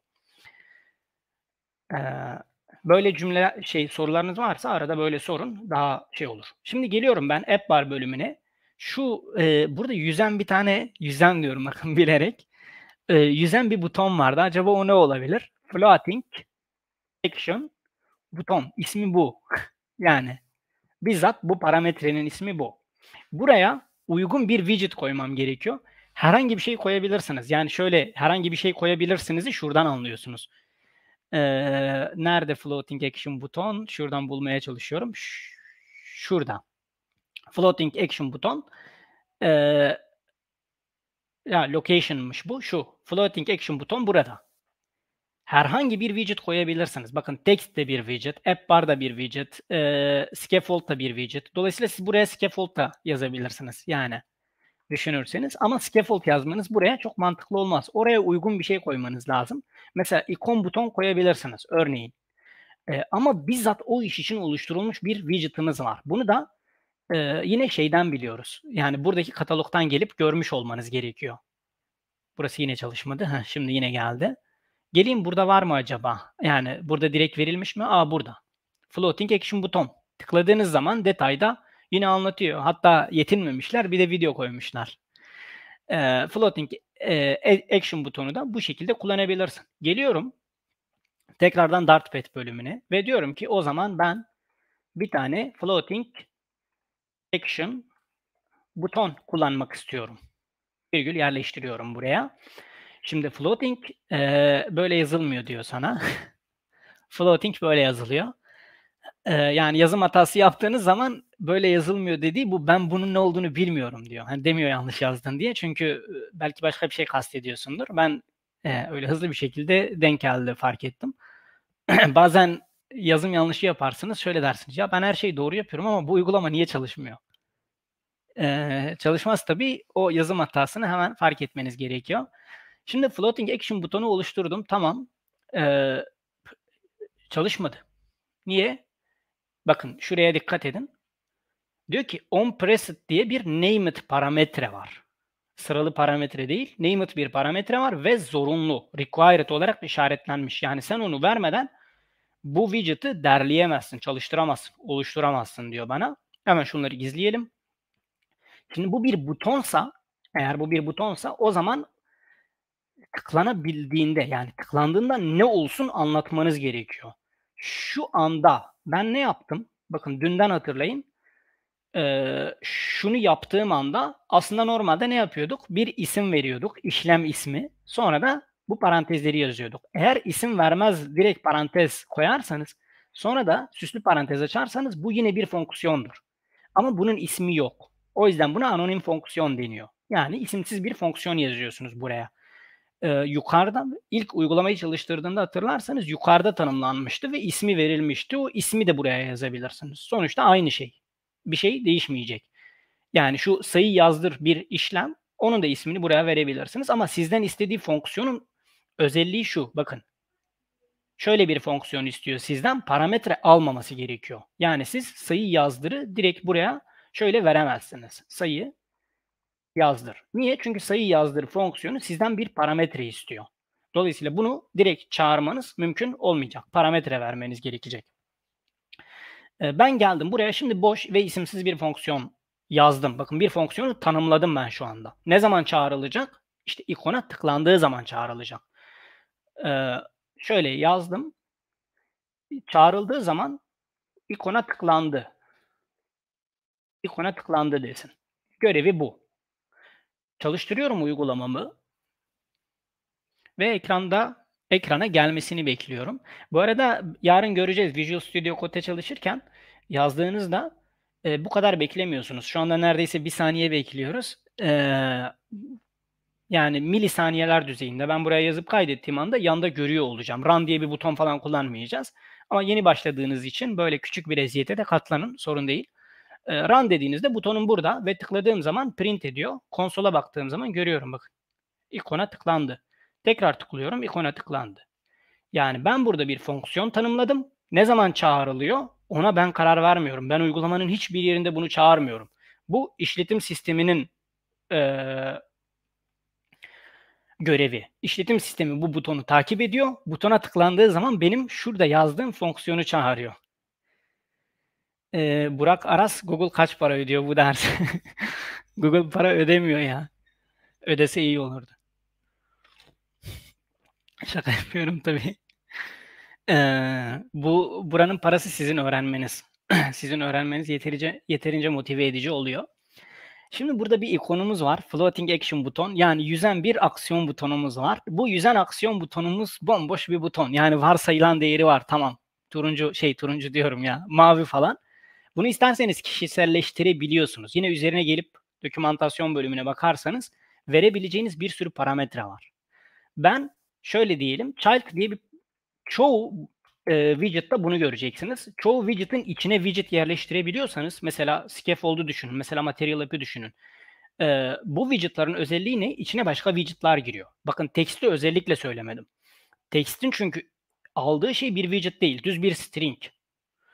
E, ama birçok widget, widget olarak ekstra diğer parametrelerde alıyor olabilir. Bakın şunlardan bazıları widget olabilir. Ona bir şey demiyorum. Ama şurada direkt aldığı şey bir widget değil. Ee, diğer widget'lara dikkat ederseniz içlerine başka widget'lar alıyorlar. Çoğu widget içine aldığı widget'a child der. Parametre ismi olarak child olarak tanımlanmıştır. Child'ın ben bir ikon widget'ı olduğunu söylüyorum. Yani tekstleri göstermek için text widget'ını, ikonları göstermek için de ikon widget'ını kullanıyoruz. İkon widget'ına dikkat ederseniz o da text widget'ına baya benziyor. Şu yönüyle benziyor. Bunun da ilk parametresi e, isimlendirilmemiş. Yani isim bu, pozisyonlanmış. Niye? Çünkü süslü parantezlerin öncesinde yazılmış bu. E, peki tipi ne bunun? Icon data. Yani text gibi string değil bununki. Icon data. Burada material ikonlar dediğimiz ikonlar devreye giriyor. Flutter şu material klasörü içinde zaten bize bunu veriyor. E, diyorum ki icons nokta ne olsun? İlk geldiğimizde artı ikonuydu herhalde tam hatırlamıyorum. Add artı ikonunun ismi et. Bunu da ezberlemek e, durumunda değilsiniz. Burada size öneriyor. Oradan falan da bulabilirsiniz. Add foto dedim. Et kalsın bu. E, Google'a gelip materyal ikonlar diye araştırırsanız bizzat ismiyle beraber tümünün ön izlenmiş şeklini görebilirsiniz. E, şöyle çalıştırıyorum şimdi. Güzel bir övgü gördüm. Yani cümlenin başı övgüye benziyor. Devamını da bir okuyayım. Umarım övgüdür. E, Mustafa Girgin şey e, Kemalettin Aktaş pardon. 10 yıldır öğretmenlik yapıyorum. Dünden beri izliyorum. Gerçekten çok açık ve anlaşılır. Çok teşekkür ediyorum Kemalettin. Ee, çok sağ olasın. Bir özellikle bir öğretmenden e, bunu duymak çok güzel. E, şimdi yani yapıyı bayağı oluşturduk. Yani uygulamamız e, oluştu. Flutter'da bir uygulama yapmak bu kadar basit. Bakın şu anda 27. satıra geldik. Bazı satırları da hani şu an silebiliriz çünkü konumuza çok ilgili değiller. Ee, 27 satırda bir uygulamamız var. Yani ve birazdan çalışıyor olacak bu. Yani çalışıyor zaten şu anda gördüğünüz gibi. Bir işe de yarasın. Yani illa sadece görselliği olsun değil, işe yarasın. Yani mesela ben buraya tıkladığımda ortada bir sayı vardı ve o sayı artıyordu. Şimdi ortada bomboş bir alan var. Ben bu alanı kullanmak istiyorum ve bu alanın içinde bir e, kolum yani bir kolon yerleştirdim buraya. Kolonun içine elemanları yerleştirirken floating action butonu önce anlatma sebebim buradaki child kelimesiydi. Ee, dediğim gibi bazı widgetler içlerine başka widgetlar alıyorlar. Bazı widgetlar ise içine çok widget alıyor. Ee, yani istediğin kadar widget koy diyor. Mesela scaffold da içine birden fazla widget alıyor. App bar alıyor, body alıyor, floating action buton alıyor. Ama kısıtlı yani sınırlı. Sonsuz tane verebilirsin demiyor. Verebileceklerinin ismini vermiş. Diyor ki bu isimlerde bana widget verebilirsin. Eyvallah diyoruz ve o kadar verebiliyoruz. Ama column gibi widgetlar istediğin kadar widget ver diyor ve buna da children diyor. Yani child'ın çoğulu. Ben diyor istediğin kadar widget alırım. Ee, burada da şu köşeli parantezler. Dün hiç köşeli parantez görmedik ama e, dediğimi yapıp dartpad şöyle pardon dart.dev'e gelip dokümantasyon bölümünde language tour'da veri tiplerinde listelere bakanlar köşeli parantezi zaten tanıyor olacaklar. Köşeli parantezler Dart'ta array tanımlama şekli. Yani birçok dilde de böyle birkaç e, işte Java, C saymazsak sayıyormuşum bir sürü dil. Ama dillerin çoğunda diyeyim e, köşeli parantezle belirtiliyor listeler, array'ler. Bazılarında çünkü süslü parantezle de belirtiliyorlar. E, ama çoğunda köşeli parantezle e, belirtiliyor. Şimdi burada ben bu köşeli parantezin içine peki ne koyacağım? Yani şu eleman ekleyebilirim. Mesela bir sürü string eklesem olur mu acaba? Mesela string 1 örneğin. İşte metin 1. Geldim işte metin bilerek bazılarını tek tırnak bazılarını çift tırnak yazıyorum. Metin 2. İşte metin 3. E, metin 3 yok tabii değil mi? Metin, metin 1 de yok. Sadece metin 2 var. E, şimdi bu şekilde eleman versem olur mu? Normalde olur gibi düşünebilirsiniz. Ama şöyle children'ın üstüne tıkladığım zaman şurada liste tanımlanırken demiş ki bana widgetlardan oluşmalı bu liste. Buna jenerik deniyor. Bu Dart dili tarafı. Burada yazdığımız hemen hemen her şey Dart'ı ilgilendiren şey. Ama sizin için ön tanımlı geldiği için buna ön tanımlı gelmiş şekline Flutter diyoruz. Yani ben buraya scaffold yazdığımda kızmıyorsa, yani ne olduğunu anlıyorsa, app bar yazdığımda ne olduğunu anlıyorsa bu işte Flutter sayesinde. Ama yazılan her satır, her kelime, her harf Dart. Şurada children'ın üzerine geldiğim zaman diyor ki bu listenin elemanları widget olmalı. Yani sen buna string veremezsin. Bir widget vermen gerekiyor. Tamam o zaman ben diyorum ki zaten benim bir tekstim vardı. İşte const'un anlamlı olduğu yer burası. Tamam ben bunu vereyim olur mu? Şu an olur. Bir tane daha aynısından vereyim. Şimdi const şu işe yarıyor. Ee, siz bir tanesinin başına const yazıp oluşturduğunuzda Aynısından bir daha oluşturursanız hafıza da bir tane daha oluşturmuyor. Önceki oluşturduğunuzu kullanıyor. Dolayısıyla şu an hafızada 3 tane bu widget'tan değil sadece bir tane widget var ama siz ekranda 3 tane görüyor olacaksınız. Gelsin bakalım ekrana. Ee, run'e, run'e tıkladım geldi.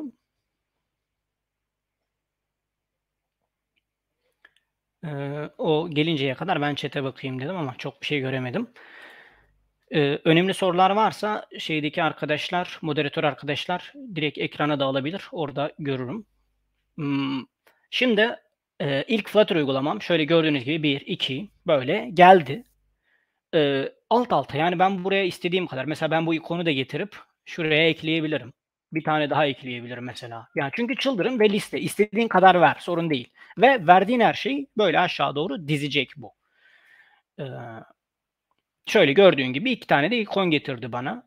İstediğim kadar widget ekleyebilirim. Hatta app bar da ekleyebilirim. Sonuçta app barda bir e, yani scaffold da ekleyebilirim. Bunlar da sonuçta widget. Umarım app bar'a ekleyebilir. Çünkü bazı widgetler biraz özel widget. Bazı yerlere eklenemiyorlar. O yüzden app bar eklene, eklenemeyebilir. Ama floating action buton mesela düz bildiğimiz bir widget. O kesinlikle eklenir. Onu da ekliyorum. Şu an gördüğünüz gibi kodların yapısı bozuldu ya. O yüzden diyorum virgüllerinizi yerlerine koymayı unutmayın. Her parametrenizden sonra e, parametreniz bitiyorsa mesela children'a parametre verdik ya şuraya kadar. Bu parametreden sonra virgül koyun. Sonra format dediğinizde kodu sizin için e, e, daha oklı bir hale getirecek. Şeklini düzeltecek. Şunu bir çalıştıralım. Bu çalışacak mı bilmiyorum şu app bar yüzünden. Muhtemelen çalışır. Ben öyle tahmin ediyorum. Ee, ve gördüğünüz gibi app bar geldi. Yani app bar illa yukarıda app bar olmak zorunda değil. Nereye koyarsanız oraya gelir. Bir widget. Ee, is, içine istediğim kadar widget ekleyebilirim ama benim istediğim bu değil. Tekrar geri başa geliyorum. İlk açtığımda uygulamamda ne diyordu? İşte e, artı butonuna şu kadar bastınız.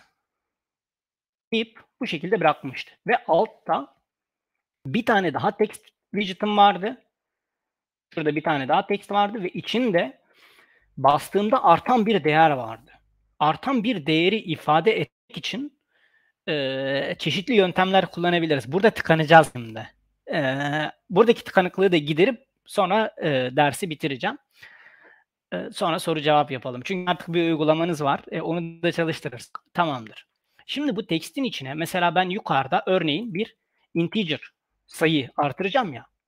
Integer e, sayaç diye bir tane değer tanımlasam ve bu sıfır olsa sonra ben bu sayacı dün hatırlıyorsanız e, stringlerde birleştirmek için kullandığımız dolar işareti vardı. Şu şekilde kullansam, uygulamamı tekrardan çalıştırsam ve ben şu ikona her tıkladığımda da sayımı artırsam yani sayaç eşittir sayaç artı bir desem ki dün hatırlıyorsanız biz bunu bayağı kısaltmıştık. Şöyle diyorduk. Sayaç bu ne demek? Sayaç eşittir. Sayaç artı 1 demek. Şimdi ve sayacı print edip e, aşağıda da görsem. Çünkü ekranda göremeyeceğim. O yüzden buraya yazdım. Tıkladım. Uygulama gelsin bakalım. Şimdi konsolda e, ne oldu? Script error diyor ama umarım çalışır. Şöyle tıklıyorum. İkona tıklandı. Şu an sayı 1. Tıklıyorum. Sayı 2, sayı 3. Yani sayı şu an artıyor ama ekranda bir şey artmıyor şu an. Şimdi bunu ekrana haber vermek gerekiyor. Sayının arttığını söylemek gerekiyor. Burada bunu yapabilecek çok fazla yöntem var. Ee, yeni başlayan arkadaşlar için e, ileride de çok uğraşacakları ve e, birçok problemin çözümünü onlara sunacak bir e, konseptin ismini söyleyeyim. E, aslında buna state management diyebiliriz. Yani bu e, uygulama ilk oluşturulduğu zaman durum buydu. Fakat bu durum değişti. Ve ekranın bundan haberinin olması gerekiyor. E, bunu nasıl yapacağız? Şimdi bunu yapabilmenin birçok yöntemi var. En başta şunu göstereceğim ben size. Siz kendiniz bir widget oluşturabilirsiniz. Yani siz dersiniz ki class e, class dediğim gibi rezerve edilmiş bir kelime. Dün söylemiştim. Yani diyorsunuz ki ben yeni bir şey anlatacağım sana. E, yeni bir şey anlatıyorum. isim veriyorum. Benim widget'ım diyorum buna. Ee, benim bileşen yani ne diyelim buna? Benim widget'ım diyelim ya. Sorun değil. Benim widget'ım. Extends bu da bir rezerve edilmiş kelime. Ee, dır demek. Dır. Türkçe'de yani normalde genişler anlamına geliyor ama siz dır olarak düşünün.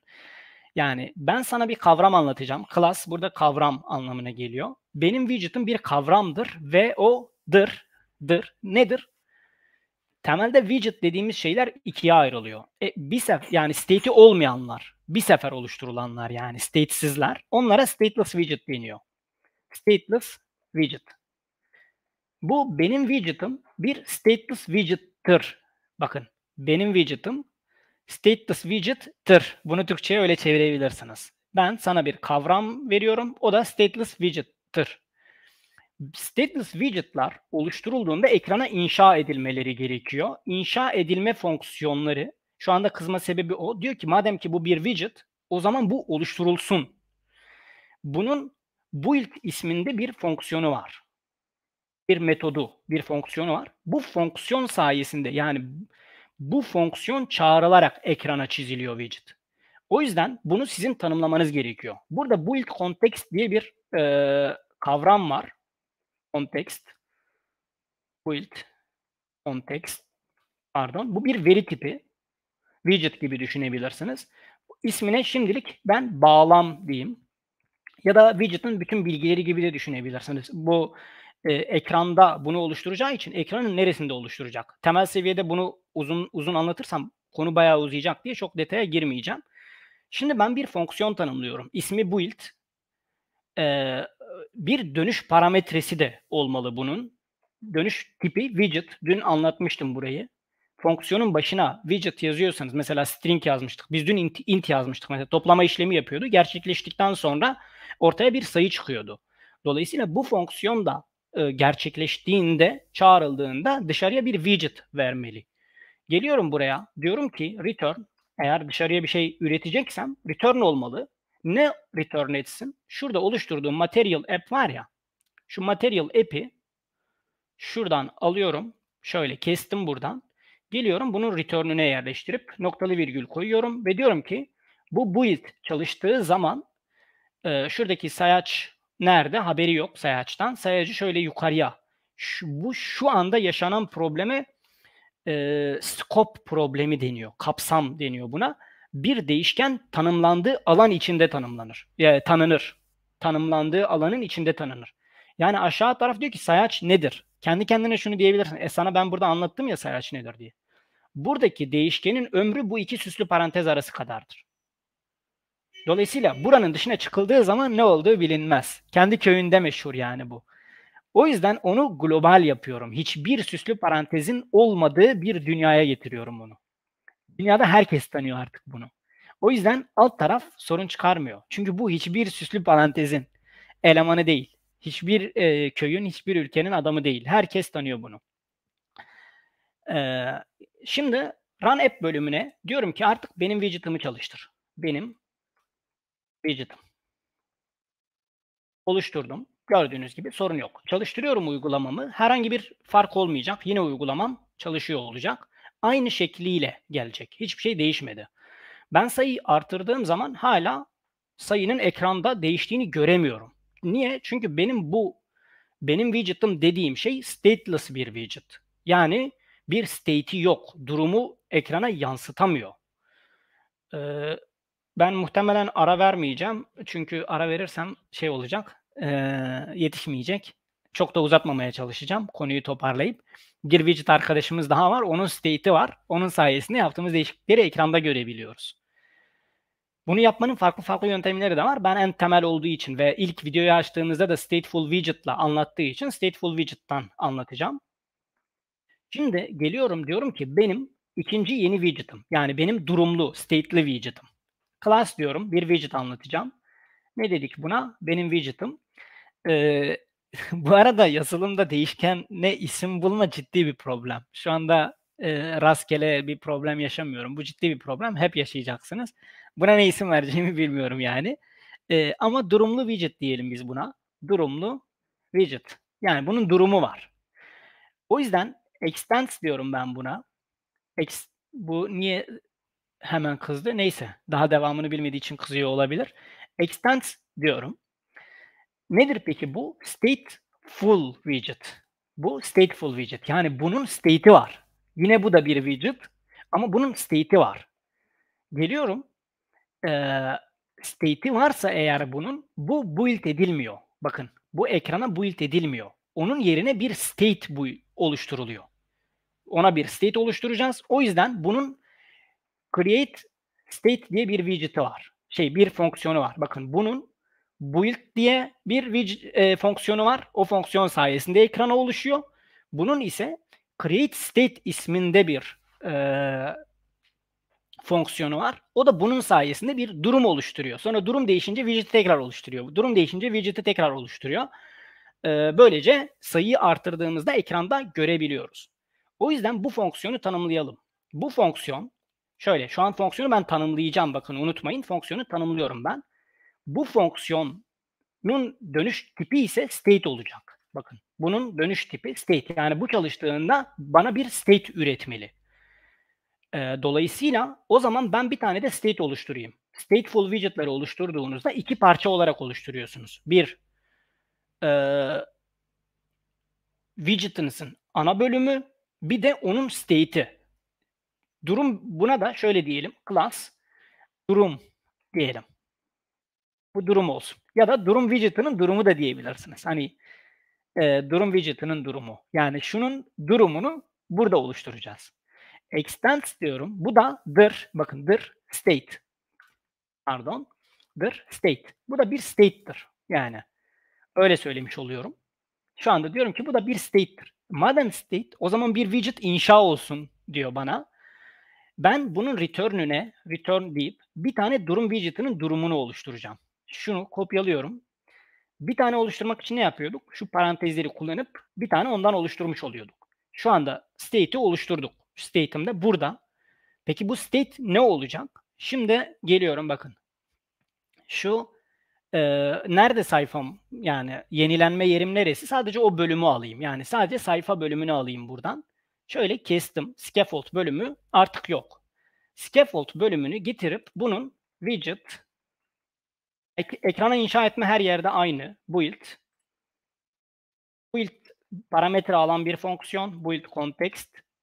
E, ismi bu sefer context olsun. Bu ismi siz veriyorsunuz. Önemli değil. Yani herhangi bir şey de verebilirsiniz ama ismi genelde context. E, return diyorum yine. Bir widget return edecek. Bu sefer scaffold'u return etsin. Şimdi ortalık biraz güzelleşti. Ee, buraya geliyorum. Diyorum ki durumlu widget. Tamam sen yenilenemiyorsun. Ama benim durumlu bir widget'ım var. O yenilenebiliyor. Yani o ekranda tekrardan oluşabiliyor demiş oluyorum. Ve uygulamamı tekrardan çalıştırıyorum. Umarım çalışır. bir şey yanlış yazmadıysak çalışır. Ee, bir şey yazdıysak tecrübeli arkadaşlar hemen yan taraftan müdahale etsin. Hocam şuraya yanlış yazdın falan diye. Hmm. Yanlış yazmamışız. Yani uygulamamız geldi. Tıklıyorum. Aa ben hala ekranda göremiyorum. Çünkü şu build işte state'in mantığı bu. Sen buradaki build'i kendin de çağırabiliyorsun. Yani durumu tekrardan bu widget'i oluşturabiliyorsun. State'in mantığı o. Dolayısıyla bu sayacı oluşturduktan sonra gelip en altta diyorsun ki set state. State'i haberdar et. İçine bu set state dediğimiz fonksiyon, sileyim bunu zaten yanlış yazdım. Set state fonksiyonu bir fonksiyon çağırıyorum şu anda. Dokümantasyonuna baktığım zaman benden parametre olarak bir tane fonksiyon istiyor. Yani bana diyor ki bir fonksiyon yaz. OnPrest gibi aynı. O yüzden onun içine de bir tane fonksiyon yazıyorum. Ama bir iş yapmak zorunda değil. Yani bir iş yapmasını istiyorsam süslü parantezler içinde belirtebilirim. Ama şu anda bu fonksiyonun bir iş yapmıyor. Set state yapıyor bakın. Set state yapıyor. Ama içine parametre olarak benim gönderdiğim anonim fonksiyon bir iş yapmıyor. Şimdi tekrardan çalıştırıyorum ve e, mucize burada gerçekleşmiş oluyor. Şu set state. Tekrardan tıklıyorum. Bakın görüyor musunuz ekranda? Sayı arttı. Ee, hızlıca bunu ortaya getirelim. Yani şu ekranın ortasına gelsin ve dersimizi bitirelim. Şu e, kolonu oluşturduğumuz yerde e, diyorum ki bunun e, main axis e, alignment'ı bunu ezberlemek zorunda değilsiniz. Ben şu anda ezberlemişsem hoş bir şey değil. Yani gereksiz bir şey ezberlemişim. E, ha, bu arada aşağıda zaten ipucu da veriyormuş. Main axis alignment bir parametre istediği değer ise main axis, main ana axis eksen alignment yaslama. Yani ana eksene nereden yaslamaya başlayayım ben diyorum. Bir kolonun ana e, şeyi e, kolon dediğimiz şeyin ana ekseni yukarıdan aşağıyadır. Yukarıdan aşağıya nasıl yaslayayım ben diyor. Ben de diyorum ki bunu e, alignment nokta center main axis alignment şurada. Yukarıdakinden bir şey yanlış yazmış olabilirim. Kopyalayıp getiriyorum. N harfini eksik yazmışım. Center diyorum. Bu şekilde gerçekleştiriyorum. Bir de bunun cross'u var. Yani çaprazda nereye? Yani bu elemanı çaprazda nereye yerleştireyim kısmı var. Ona da cross axis alignment diyoruz. Yani e, çapraz eksen, ekseni nasıl olsun bunun? E, alignment Yine cross axis bu sefer aşağıdan getirse direkt kopyalayacaktım. Ee, nokta center diyorum. İkisini de merkeze aldım. Tekrardan çalıştırıyorum. Ee, buraya geldi. Aslında bu şu anda e, ortaya gelmesi lazım ama bunun aslında alanı bu kadar. Yani şu kolon dediğim şey renk versem göreceksiniz. Şu kadar. Dün göstermişti size e, şey dün değil önceki gün Gazihan Hoca göstermişti bir kolonun ne kadar yer kapladığını, row'un ne kadar yer kapladığını, row kolumun diğer arkadaşı yan yana diziyor elemanları. Ne kadar alan kapladığını gösteren yapılar vardı. Şu anda benim kolon bu kadar aslında o yüzden. Ben bu kolona bir şey koysam desem ki bütün ekranı kapla. Mesela e, ne gibi? Bir tane boş widget yerleştirelim. Center. ismi center olan boş bir widget. Yani içi, bu normalde widget'ın görevi içine yerleştirdiğiniz şeyi merkeze alır. Bunu çalıştırıyorum şöyle. Bu arada bu main ile cross'u ters söylemiş olabilirim. Siz zaten mantığını anlayın yeterli. Ee, şimdi ne olmuş oldu? Bunu merkeze getirdi. Bunu da bir tık büyütelim. Yani şu text widget'ıma e, bu bir metin. Buna ekleme yapabilirim. Yani bunu istersen bu metni büyük, küçük, renkli, başka renkli falan gösterebilirim. Bunun da parametresi style. Aldığı parametre ismi style, aldığı şey ise text style isimli bir komponent. Ee, bu text style'ı da aslında kendim oluşturmak birine diyorum ki ana temadan al. Ana temadan. Tem of deyip buradaki kontekste bakıp eğer uygulamanın ana bağlamı neresi ise oraya bakmasını istiyorum ve diyorum ki text temasına git. Text teması içinde de işte başlıklardan örneğin headline 4 olsun. Headline 4'ün özelliği neyse yani senin başlık dediğin şey her neyse onun stilini getir benim bu sayacıma uygula demiş oluyorum şu anda. Ve tekrardan çalıştırıyorum. Ee, ve gördüğünüz gibi uygulamam ilk başladığı şekline gelmiş oldu. Neredeyse bir saatte tümünü anlattık. Ufak tefek eksik yerler bıraktım. Ufak tefek uyarılar var. Bilgi notları var. Şurada görüyorsunuz. Bilgi notları var. Onlara değinmedim. Çok e, temelde bilmenize gerek olmadığını düşündüğüm için değinmedim. Şurada globalde tanımladığım sayacı ben artık buradan alıp getirip buranın e, state'inin içine yerleştirebilirim. Çünkü aslında pardon şuraya şu state'in içine yerleştirebilirim. Pardon. E, Visual Studio Code'daki e, kod formatlama kısa yoluna bastım. O yüzden öyle oldu. Yani format demek istedim aslında. E, şu sayacı biraz sağa getirsin diye. O yüzden e, indirilenler klasörün bölümüne attı beni. E, şimdi sayaç dedik burada. Çünkü bu zaten burada tanınsa yeter. Başka bir yerde kullanmıyorum ki. Bütün dünya niye bunu tanısın? O yüzden onu getiriyorum. Gereksiz kod yazmayın. Yani bir şey gerekli değilse yazmayın. Bunun zaten yazılımcılar arasında bir prensip hali var. Buna yagni deniyor. You are not gonna need it. İhtiyacın olmayacaksa yazma. İhtiyacın olmayacak buna demek. O yüzden bunu alıp getirip buraya yerleştiriyorum ve tekrardan çalıştırarak dersi bitiriyorum. Ee, Halil İbrahim Ünlü'nün sorusuyla başlayalım. Diyor ki e, body'nin içine önce row sonra kolum yerleştirebilir miyiz? İstediğiniz gibi yapabilirsiniz. Bu yapı tamamen size bağlı bir şey. E, istersen gelip kolumun içine de row'lar ekleyebilirsin. Mesela row da satır demek. Yani bu bir kolon, sütun row satır. Bu da yine çok eleman alan bir şey. Ee, children ve siz bunun içine e, istediğiniz kadar yani şuranın içine istediğiniz kadar widget ekleyebiliyorsunuz. Yani şu widgetların aynısını alıp getirip oraya da ekleyelim. Orada da olsunlar. Bir zararları yok. Nasıl çalıştığını görün. Ee, kodlar bozuldu. Ben şimdi format kod deyip düzelteceğim. Bu gördüğünüz gibi burası row. Yani içine koyduğunuz elemanları yan yana diziyor kodda alt alta görünüyorlar diye alt alta görünmek zorunda değiller. E, row onu ne hale getiriyorsa ona bakıyor. Format diyorum. Şöyle ikisi de zaten sayaca baktığı için sayaç sayısını artırdığında ikisi de artıyor olacaklar. Ee, Ayşe Almacı e, headline 4'ü seçmemin hiçbir sebebi yok. Tamamen tesadüfen de bence aynısına denk geldi. Yani orijinaldekine denk geldi. E, sadece bu yapı hani nasıl görünsün diye. Mesela bunu bir falan da yapabilirim. O zaman şunu değil. Mesela bu dört kalsın. Şunu bir yapayım alttakini. Sadece bir biraz daha büyük. Yani e, yapı şunu demiş oluyorsun sen. içinde bulunduğun yapı, bağlam e, text teması içinde başlık bire ne diyorsa benim bu e, tekstimin içindeki sayıyı da ona uyarla. Onun gibi yap. Ben uğraşamam stille demiş oluyorsun. Dediğin o. Şunu formatlayalım tekrardan kodu.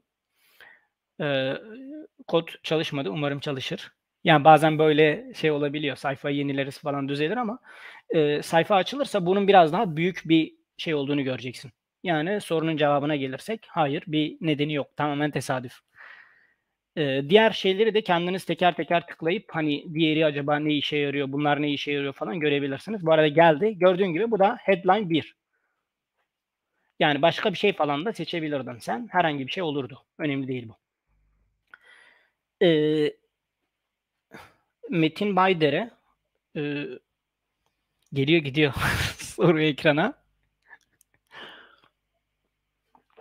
E, void ve returning function farkı nedir ve ne zaman hangisini tercih edileceği nasıl belirlenir? Aslında biz bu konuyu e, dün e, biraz konuştuk. O yüzden e, çok detaylı cevap vermeyeceğim. Bu dünkü derse tekrardan bir bakarsan en başlarda konuşmuştuk. E, void fonksiyonlar geriye bir parametre bir şey üretmiyor. Çağrıldıkları yere bir şey göndermiyorlar. E, gerek yoksa yani siz mesela bir e, fonksiyon burada sizden bir fonksiyon istiyor tıklandığı zaman. Buraya bir şey göndermenizi istemiyor Gerek yok yani. Ama burada tanımladığınız build fonksiyonu sizden bir widget oluşturmanızı yani çağrıldığı yere bir widget vermenizi istiyor. O yüzden orada return içinde return ifadesi olan, dönüş parametresi olan, dönüş tipi olan bir e, fonksiyon tanımlamanız gerekiyor. Dünkü dersi tekrardan izlersen biraz daha anlaşılır olur. Ee, bazı şeyler böyle çok temel gibi görünüyor ama bunları detaylı bir şekilde anladığınızda aslında bayağı yol kat etmiş oluyorsunuz. Bu da öyle bir soru. Sıradaki soruyu alabiliriz. Sorusunun anlaşılmadığını düşünen varsa tekrar sorsun. Tekrar alalım olur mu? Ee, Muhammed Yıldız. Ben state'leri anlamadım. Neden sürekli state yazdık? Sürekli değil bir kere tek state yazdık. Ha şurayı şuraya bir sefer state yazdık. Buraya bir state yazdık. Tamam anladım. Orayı bir özet geçeyim. Aslında state şu. Bir widget e, ekrana bir sefer build ediliyorsa ve bir daha tekrar şu build fonksiyonu çağrılamıyorsa buna statesiz widget diyoruz. Yani bu e, bir değişiklik olsa bile tekrardan oluşamayacağı için onu ekranda gösteremiyoruz. Buna durumsuz widget, statesiz widget diyebiliriz. Buna stateless widget diyoruz. Ama bazı widgetlar, şu stateful widget gibi widgetlar, bunlar direkt build edilmek yerine bir state inşa, bir durum tutuyorlar, bir durum oluşturuyorlar. Sonra o durumu istediğin kadar değiştirebiliyorsun. Dolayısıyla sen o durumu değiştirerek kodundaki değişikliği ekrana yansıtabiliyorsun. Yani fonksiyonu senin bu widget'ı tekrardan build etmen gerekiyor ki yaptığın değişikliği ekranda görebilesin. Bu yüzden de state dediğimiz şeyler var. Yani state'i o yüzden oluşturuyoruz. Buradaki state şurada çalışacak olan fonksiyonun çalıştıktan sonra bir bu tipte bir şey üretmesi gerektiğini söylüyor. Ama buradaki state şunu söylüyor. Diyor ki benim e, durum widget'ının durumu dediğim bu kavram bir state'tır. Dolayısıyla ben bunu return edersem sorun çıkmayacak. Ama ben bunun state olduğunu söylemesem burada hata verir. Der ki senden benim istediğim bir state olmalı. Ama bu bir state değil. Şu anda kızdığı şey o. Diyor ki bu bir state değil. Ben de burada dır diyorum. Bu bir state'dır dediğimde o zaman tamam diyor. Ben kızmıyorum. Aa bu bir state'miş mesela. Örneğin sen int diye topla diye bir fonksiyon tanımlayıp işte s1 e, int s2 dersen return bölümüne senin bir sayı göndermen gerekiyor. Yani sen bir metinsel ifade gönderemezsin. Ahmet Mehmet yazamazsın. Çünkü sen bunun integer olduğunu söyledin. Burada da öyle. Bunun dönüş parametresinin bir state olması gerekiyor. Bunun da state olduğunu burada söylemiş oluyoruz. State olduğu için de build edilmesi gerekiyor. Yani ekrana tekrar tekrar inşa edilebilmesi gerekiyor. Ee, burası aşırı önemli olduğu için tekrar ettim. Biraz daha detaylı anlatmaya çalıştım. Çok önemli bir yere takılıyorsun şu anda yani. Ee, çok önemli bir soru şu andaki kafandaki soru. Ee, temel mantığı da o. Yani state dememek, sürekli state dememizin sebebi bu sayaç değişecek bu sayaç değiştiğinde ben bu build'i tekrardan çağırabilmeliyim. Set state dediğim zaman da zaten onu demiş oluyorum. Yani şu build'i tekrardan çağır. Niye tekrardan çağırıyorum? Çünkü sayaçta bir değişiklik var. Onu ekranda tekrar çizmen lazım. e, o zaman benim için bunu tekrardan oluşturuyor. E, state sadece build edilmiyor bu arada. Widget'ların bir yaşam döngüsü var. Stateful widget'ların yaşam döngüsü diye Google'da aratıp detaylı bir şekilde bakabilirsiniz. Life cycle. Stateful widget'ın life cycle'ı herhangi birine bakarsanız e, gayet güzel bir şekilde açıklıyor olacaklar. Sonuçta bunlar bir e, birer varlık ve var oluyorlar. Bir yaşam döngüleri var. E, bu ilkte o döngülerden biri var olma. State dediğimiz, şuradaki set state dediğimizde o build'i tekrardan çağırıyoruz. Bunu 3-4 defa tekrar ettim. Önemli gördüğüm için. Umarım anlaşılmıştır. Ee,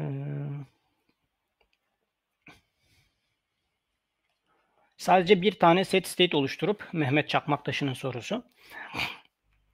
Hmm, sadece bir tane set state oluşturup içeriğini güncelleyeceğimiz değerleri onun içine atmakla birden fazla set state fonksiyonu kullanmak arasında performans farkı var mı? Ee, şunu kastediyorsan mesela burada bir set state aynı fonksiyonun içinde tekrar tekrar set state yapayım diyorsan tabii ki performans farkı var. Bu çünkü 3 defa bu build metodunu çağıracak ama yapılan değişiklik 1. Yani bir tane değişiklik için niye üç defa çağırasın? Bu çok anlamsız bir şey. Ee, bunu mu kastettim bilmiyorum. Dolayısıyla performans farkı var. Ee, eğer amacın şurada yapılan değişikliği bu fonksiyonun içinde belirtmekse biz sayfayı ilk açtığımızda böyleydi. Bunun performans açısından bir farkı yok. Yani sen değişikliği sonuçta burada yaptın. Burada ise dedin ki tekrardan çağır. Build et burayı tekrardan çağırdığında bu değere dikkat et deyip dememen çok da önemli değil. Çok e, ciddi bir farkı yok performans açısından. Sadece şöyle bir şey olabilir bazen. Çok nadir de olsa şöyle bir şey yaşayabilirsin. E, mesela sen burada bu sayıyı artırdın. Set state dedin. Bazen dediğim gibi bu çok çok nadir e, senaryolarda gerçekleşir. Bazen bu fonksiyon e, asenkron bir fonksiyondur. E, hemen gerçekleşmeyebilir. Senin ekranın build olur bu iş henüz bitmeden build olduğu için sen yaptığın değişikliği ekranda göremezsin. E, o tür durumlarda belki e, o tür senaryolara gidebilirsin. Yoksa normalde bir farkı yok. Şu ifade ile bu ifadenin bir farkı yok. Aynı şekilde çalışacaktır.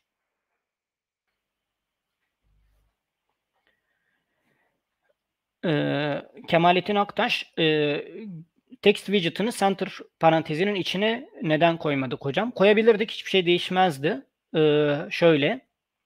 Yani şuradaki teksti amacımız ekranın ortasına getirmek ya.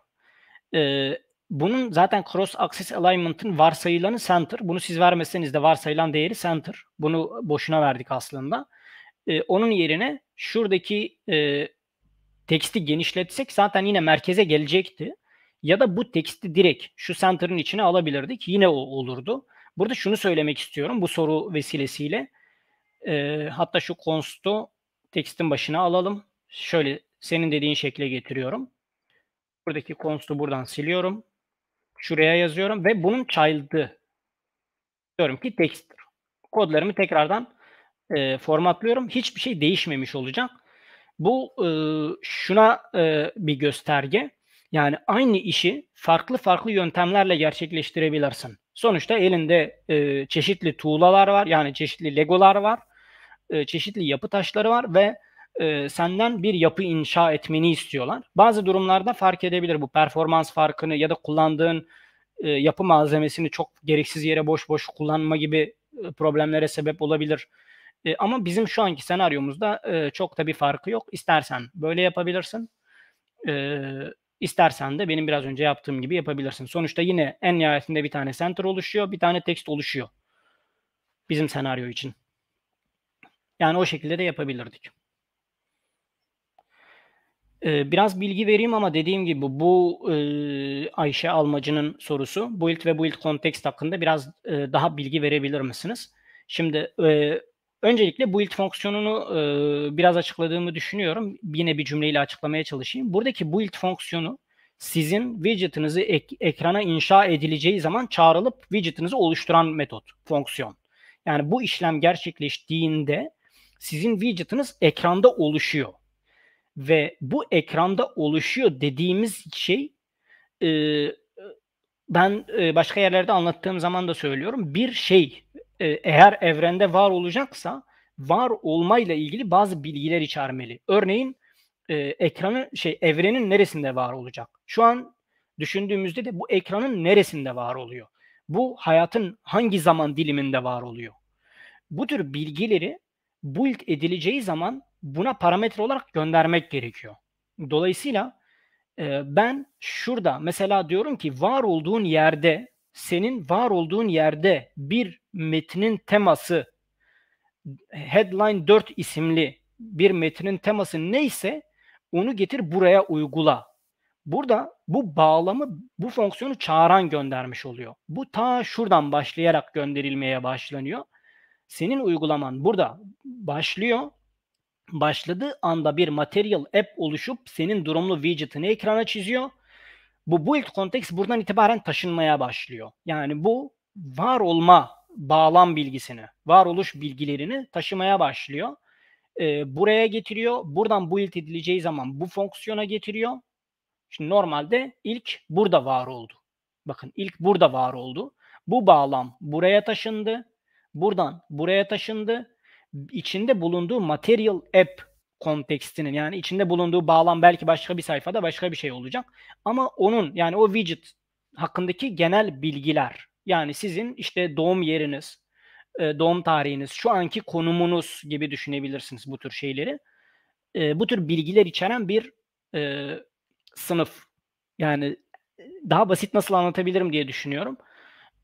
Yine de anlaşılmamış olabilir. Biraz daha böyle detayda bir şey sorabilirsiniz. Aslında şunu kastettim şeklinde sorunu manipüle edebilirsin.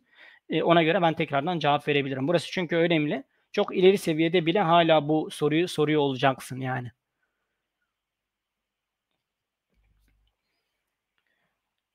Ee, hocam size zahmet bu constructor fonksiyonunun üstünden e, geçebilir misiniz? E, aslında şurada constructor ilk söylediğim şeyi tekrar söyleyeceğim. Bu soruyu çok detaylı cevaplandırmayacağım.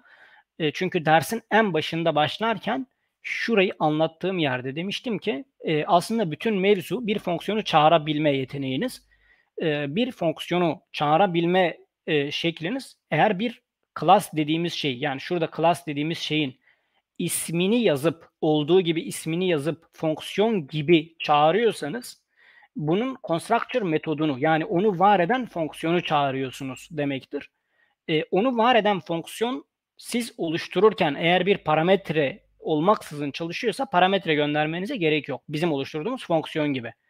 Ama material app gibi e, oluşturulduğu zaman sizden bazı parametreler isteyip o parametrelerle var olan bir e, fonksiyonsa da o parametreleri vermeniz gerekiyor. E, bunun için dünkü Dart dersinde çok detaylı girmediğimiz class kavramını detaylı bir şekilde araştırmanı öneriyorum. Orada e, o konuyu araştırırsan bayağı ilerlersin. Sıradaki soruyu alabiliriz. Ee, Muhammed Yıldız diyor ki yani hocam state şu demek mi? Ben artı tuşuna bastım e, sayaç 1 oldu. Fakat yazılımdaki kodlar bunu kod bozulduğu olarak görüyor ve ben tekrar bak 1 olsa bile sayaç devam etsin diye yazılımı ikna mı ediyorum? Hayır bu değil e, Muhammed. E, hatta bu çok yanlış bir e, anlaşılmaya da sebep olabilir. E, yazılımın gayet normal çalışıyor ve ben sayıyı mesela 1 oldu, 2 oldu, 3 oldu diyorum. Sayı artıyor konsolda görüyorum ama bunu ekranda göremiyorum. Yani benim widget'ım ilk oluştuğu anda sıfırla oluştuğu için e, sayı 1, 2, 3, 4 onun haberi yok hala. Yani ekranın haberi yok. Widget çünkü şu build fonksiyonu ilk çağrıldığı zaman sayaç kaçtı? Sıfırdı. Yani ortada herhangi bir hata yok. Sayaç 1 oluyor, 2 oluyor, 3 oluyor. Okey. Ama benim widget'ım tekrar oluşmadığı için son durumdan haberi yok. State ile durum kelimesini kafanda bir birleştir. Yani son durumdan haberi olmadığı için state dediğimiz şey o son durum. Sen set state diyerek de durumu haberdar et demiş oluyorsun. Yani widget'ımı son durumdan haberdar et demiş oluyorsun. Böylece ekranda son değişikliği görebilmiş oluyorsun. Yani ortada bir hata yok. Kod bozuldu olarak falan görmüyor. Ee, sadece senin kodunun belli bölümlerinin son durumdan haberi yok. State'i öyle görebilirsin. Durum yani. E, Kemalettin Aktaş. Stateless widget içerisine stateful widget koymak mümkün mü? Yani e, bu uygulamada sadece sayacın güncellenmesi gereken yeri stateful widget yapabilir miydik? E, evet yapabilirdik. Burada demek istediği şu Kemalettin Aktaş'ın.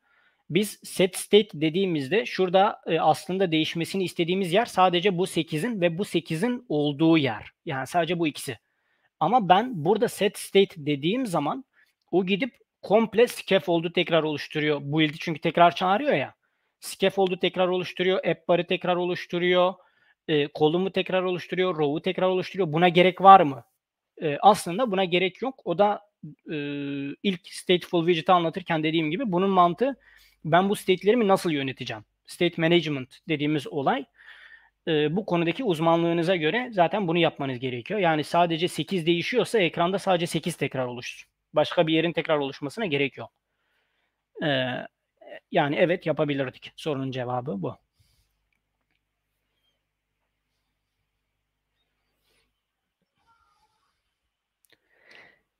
Ee, Mehmet Çakmaktaşı evet aslında init state'e değinsek güzel olurdu ee, ama çok e, zamanımız olmadığı için girmedik. Bir ipucu olarak verdim ben e, stateless widget'ın yaşam döngüsü diye. Buradaki yaşam döngüsüne bakıp detaylı bir şekilde öğrenmeye çalışın. Değinmediğimiz başka noktalar da var çünkü. Ee, önemli noktalar. Hak veriyorum sana Mehmet. Ee, bu kodu da hemen paylaşalım unutmadan. Yeni bir tane e, gist oluşturalım.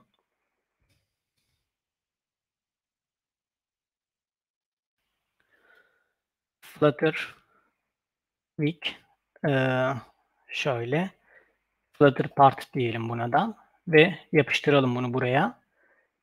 Yine public oluşturup yayınlıyorum. Bunu alıp Dartpad'de direkt yapıştırdığınız zaman şuraya ya da direkt şuraya da yapıştırabilirsiniz. Aynı anlama geliyor. Zaten kendisi tamamlayıp yine o şekilde getirecektir. Ee, bu şekilde çalıştırdığınızda siz de bu koda erişiyor olacaksınız. Hemen kodu e, chat'e yapıştırıyoruz.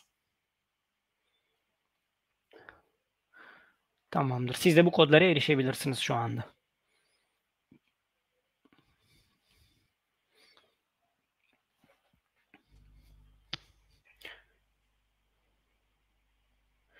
e, Muhittin Kaplan e, bence gayet güzel anlamışsın burayı. State ekranın yeni bilgiyle yenilenmesi midir? Bence çok iyi anladın. E, tam dediğin gibi.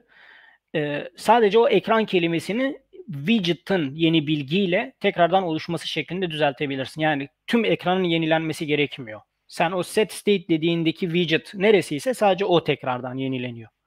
Dediğin gayet doğru. Gayet güzel anlamışsın. Ee, Son sorumuzu da alalım hocam isterseniz. E, tamam. E, Muhittin belki zaten biliyordun. Diğer arkadaşlar e, bu şekilde anlayacağını düşündüğün için belki de öyle söyledin ama tam olarak söylediğin gibi doğru. E, Ahmet Yüksel Türk, hocam biz kodlamada yaptığımız her şeyi uygulamaya yansıtmak için her zaman state'leri mi kullanacağız? Yani her özellik state mi isteyecek? Eğer bir değişiklik yaptın ve onu ekranda görmek istiyorsan, yani sayaç mesela e, sıfırdı ve bunu bir olduktan sonra yine ekranda görünsün istiyorsan evet e, state olacak. Yani o state'i yenilemen lazım ki ekranda görebilesin.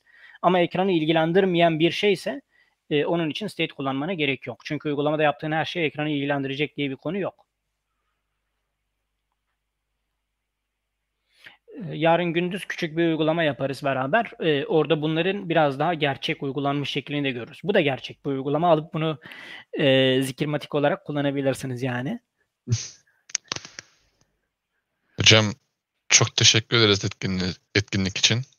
Ee, rica ederim. Ben de çok teşekkür ederim. Ee, gerçekten, bitti bilmiyorum. Gerçekten çok değerli bilgiler edindik bugün tekrardan sizlerle. Ee, bütün katılımcılarımıza da çok teşekkür ederim buradan ben kendi ve ekibim adına. Ee, yarınki etkinliğimizde görüşmek üzere diyorum o zaman. Kendinize çok iyi bakın. Görüşürüz. Herkes kendine iyi baksın. Görüşmek üzere.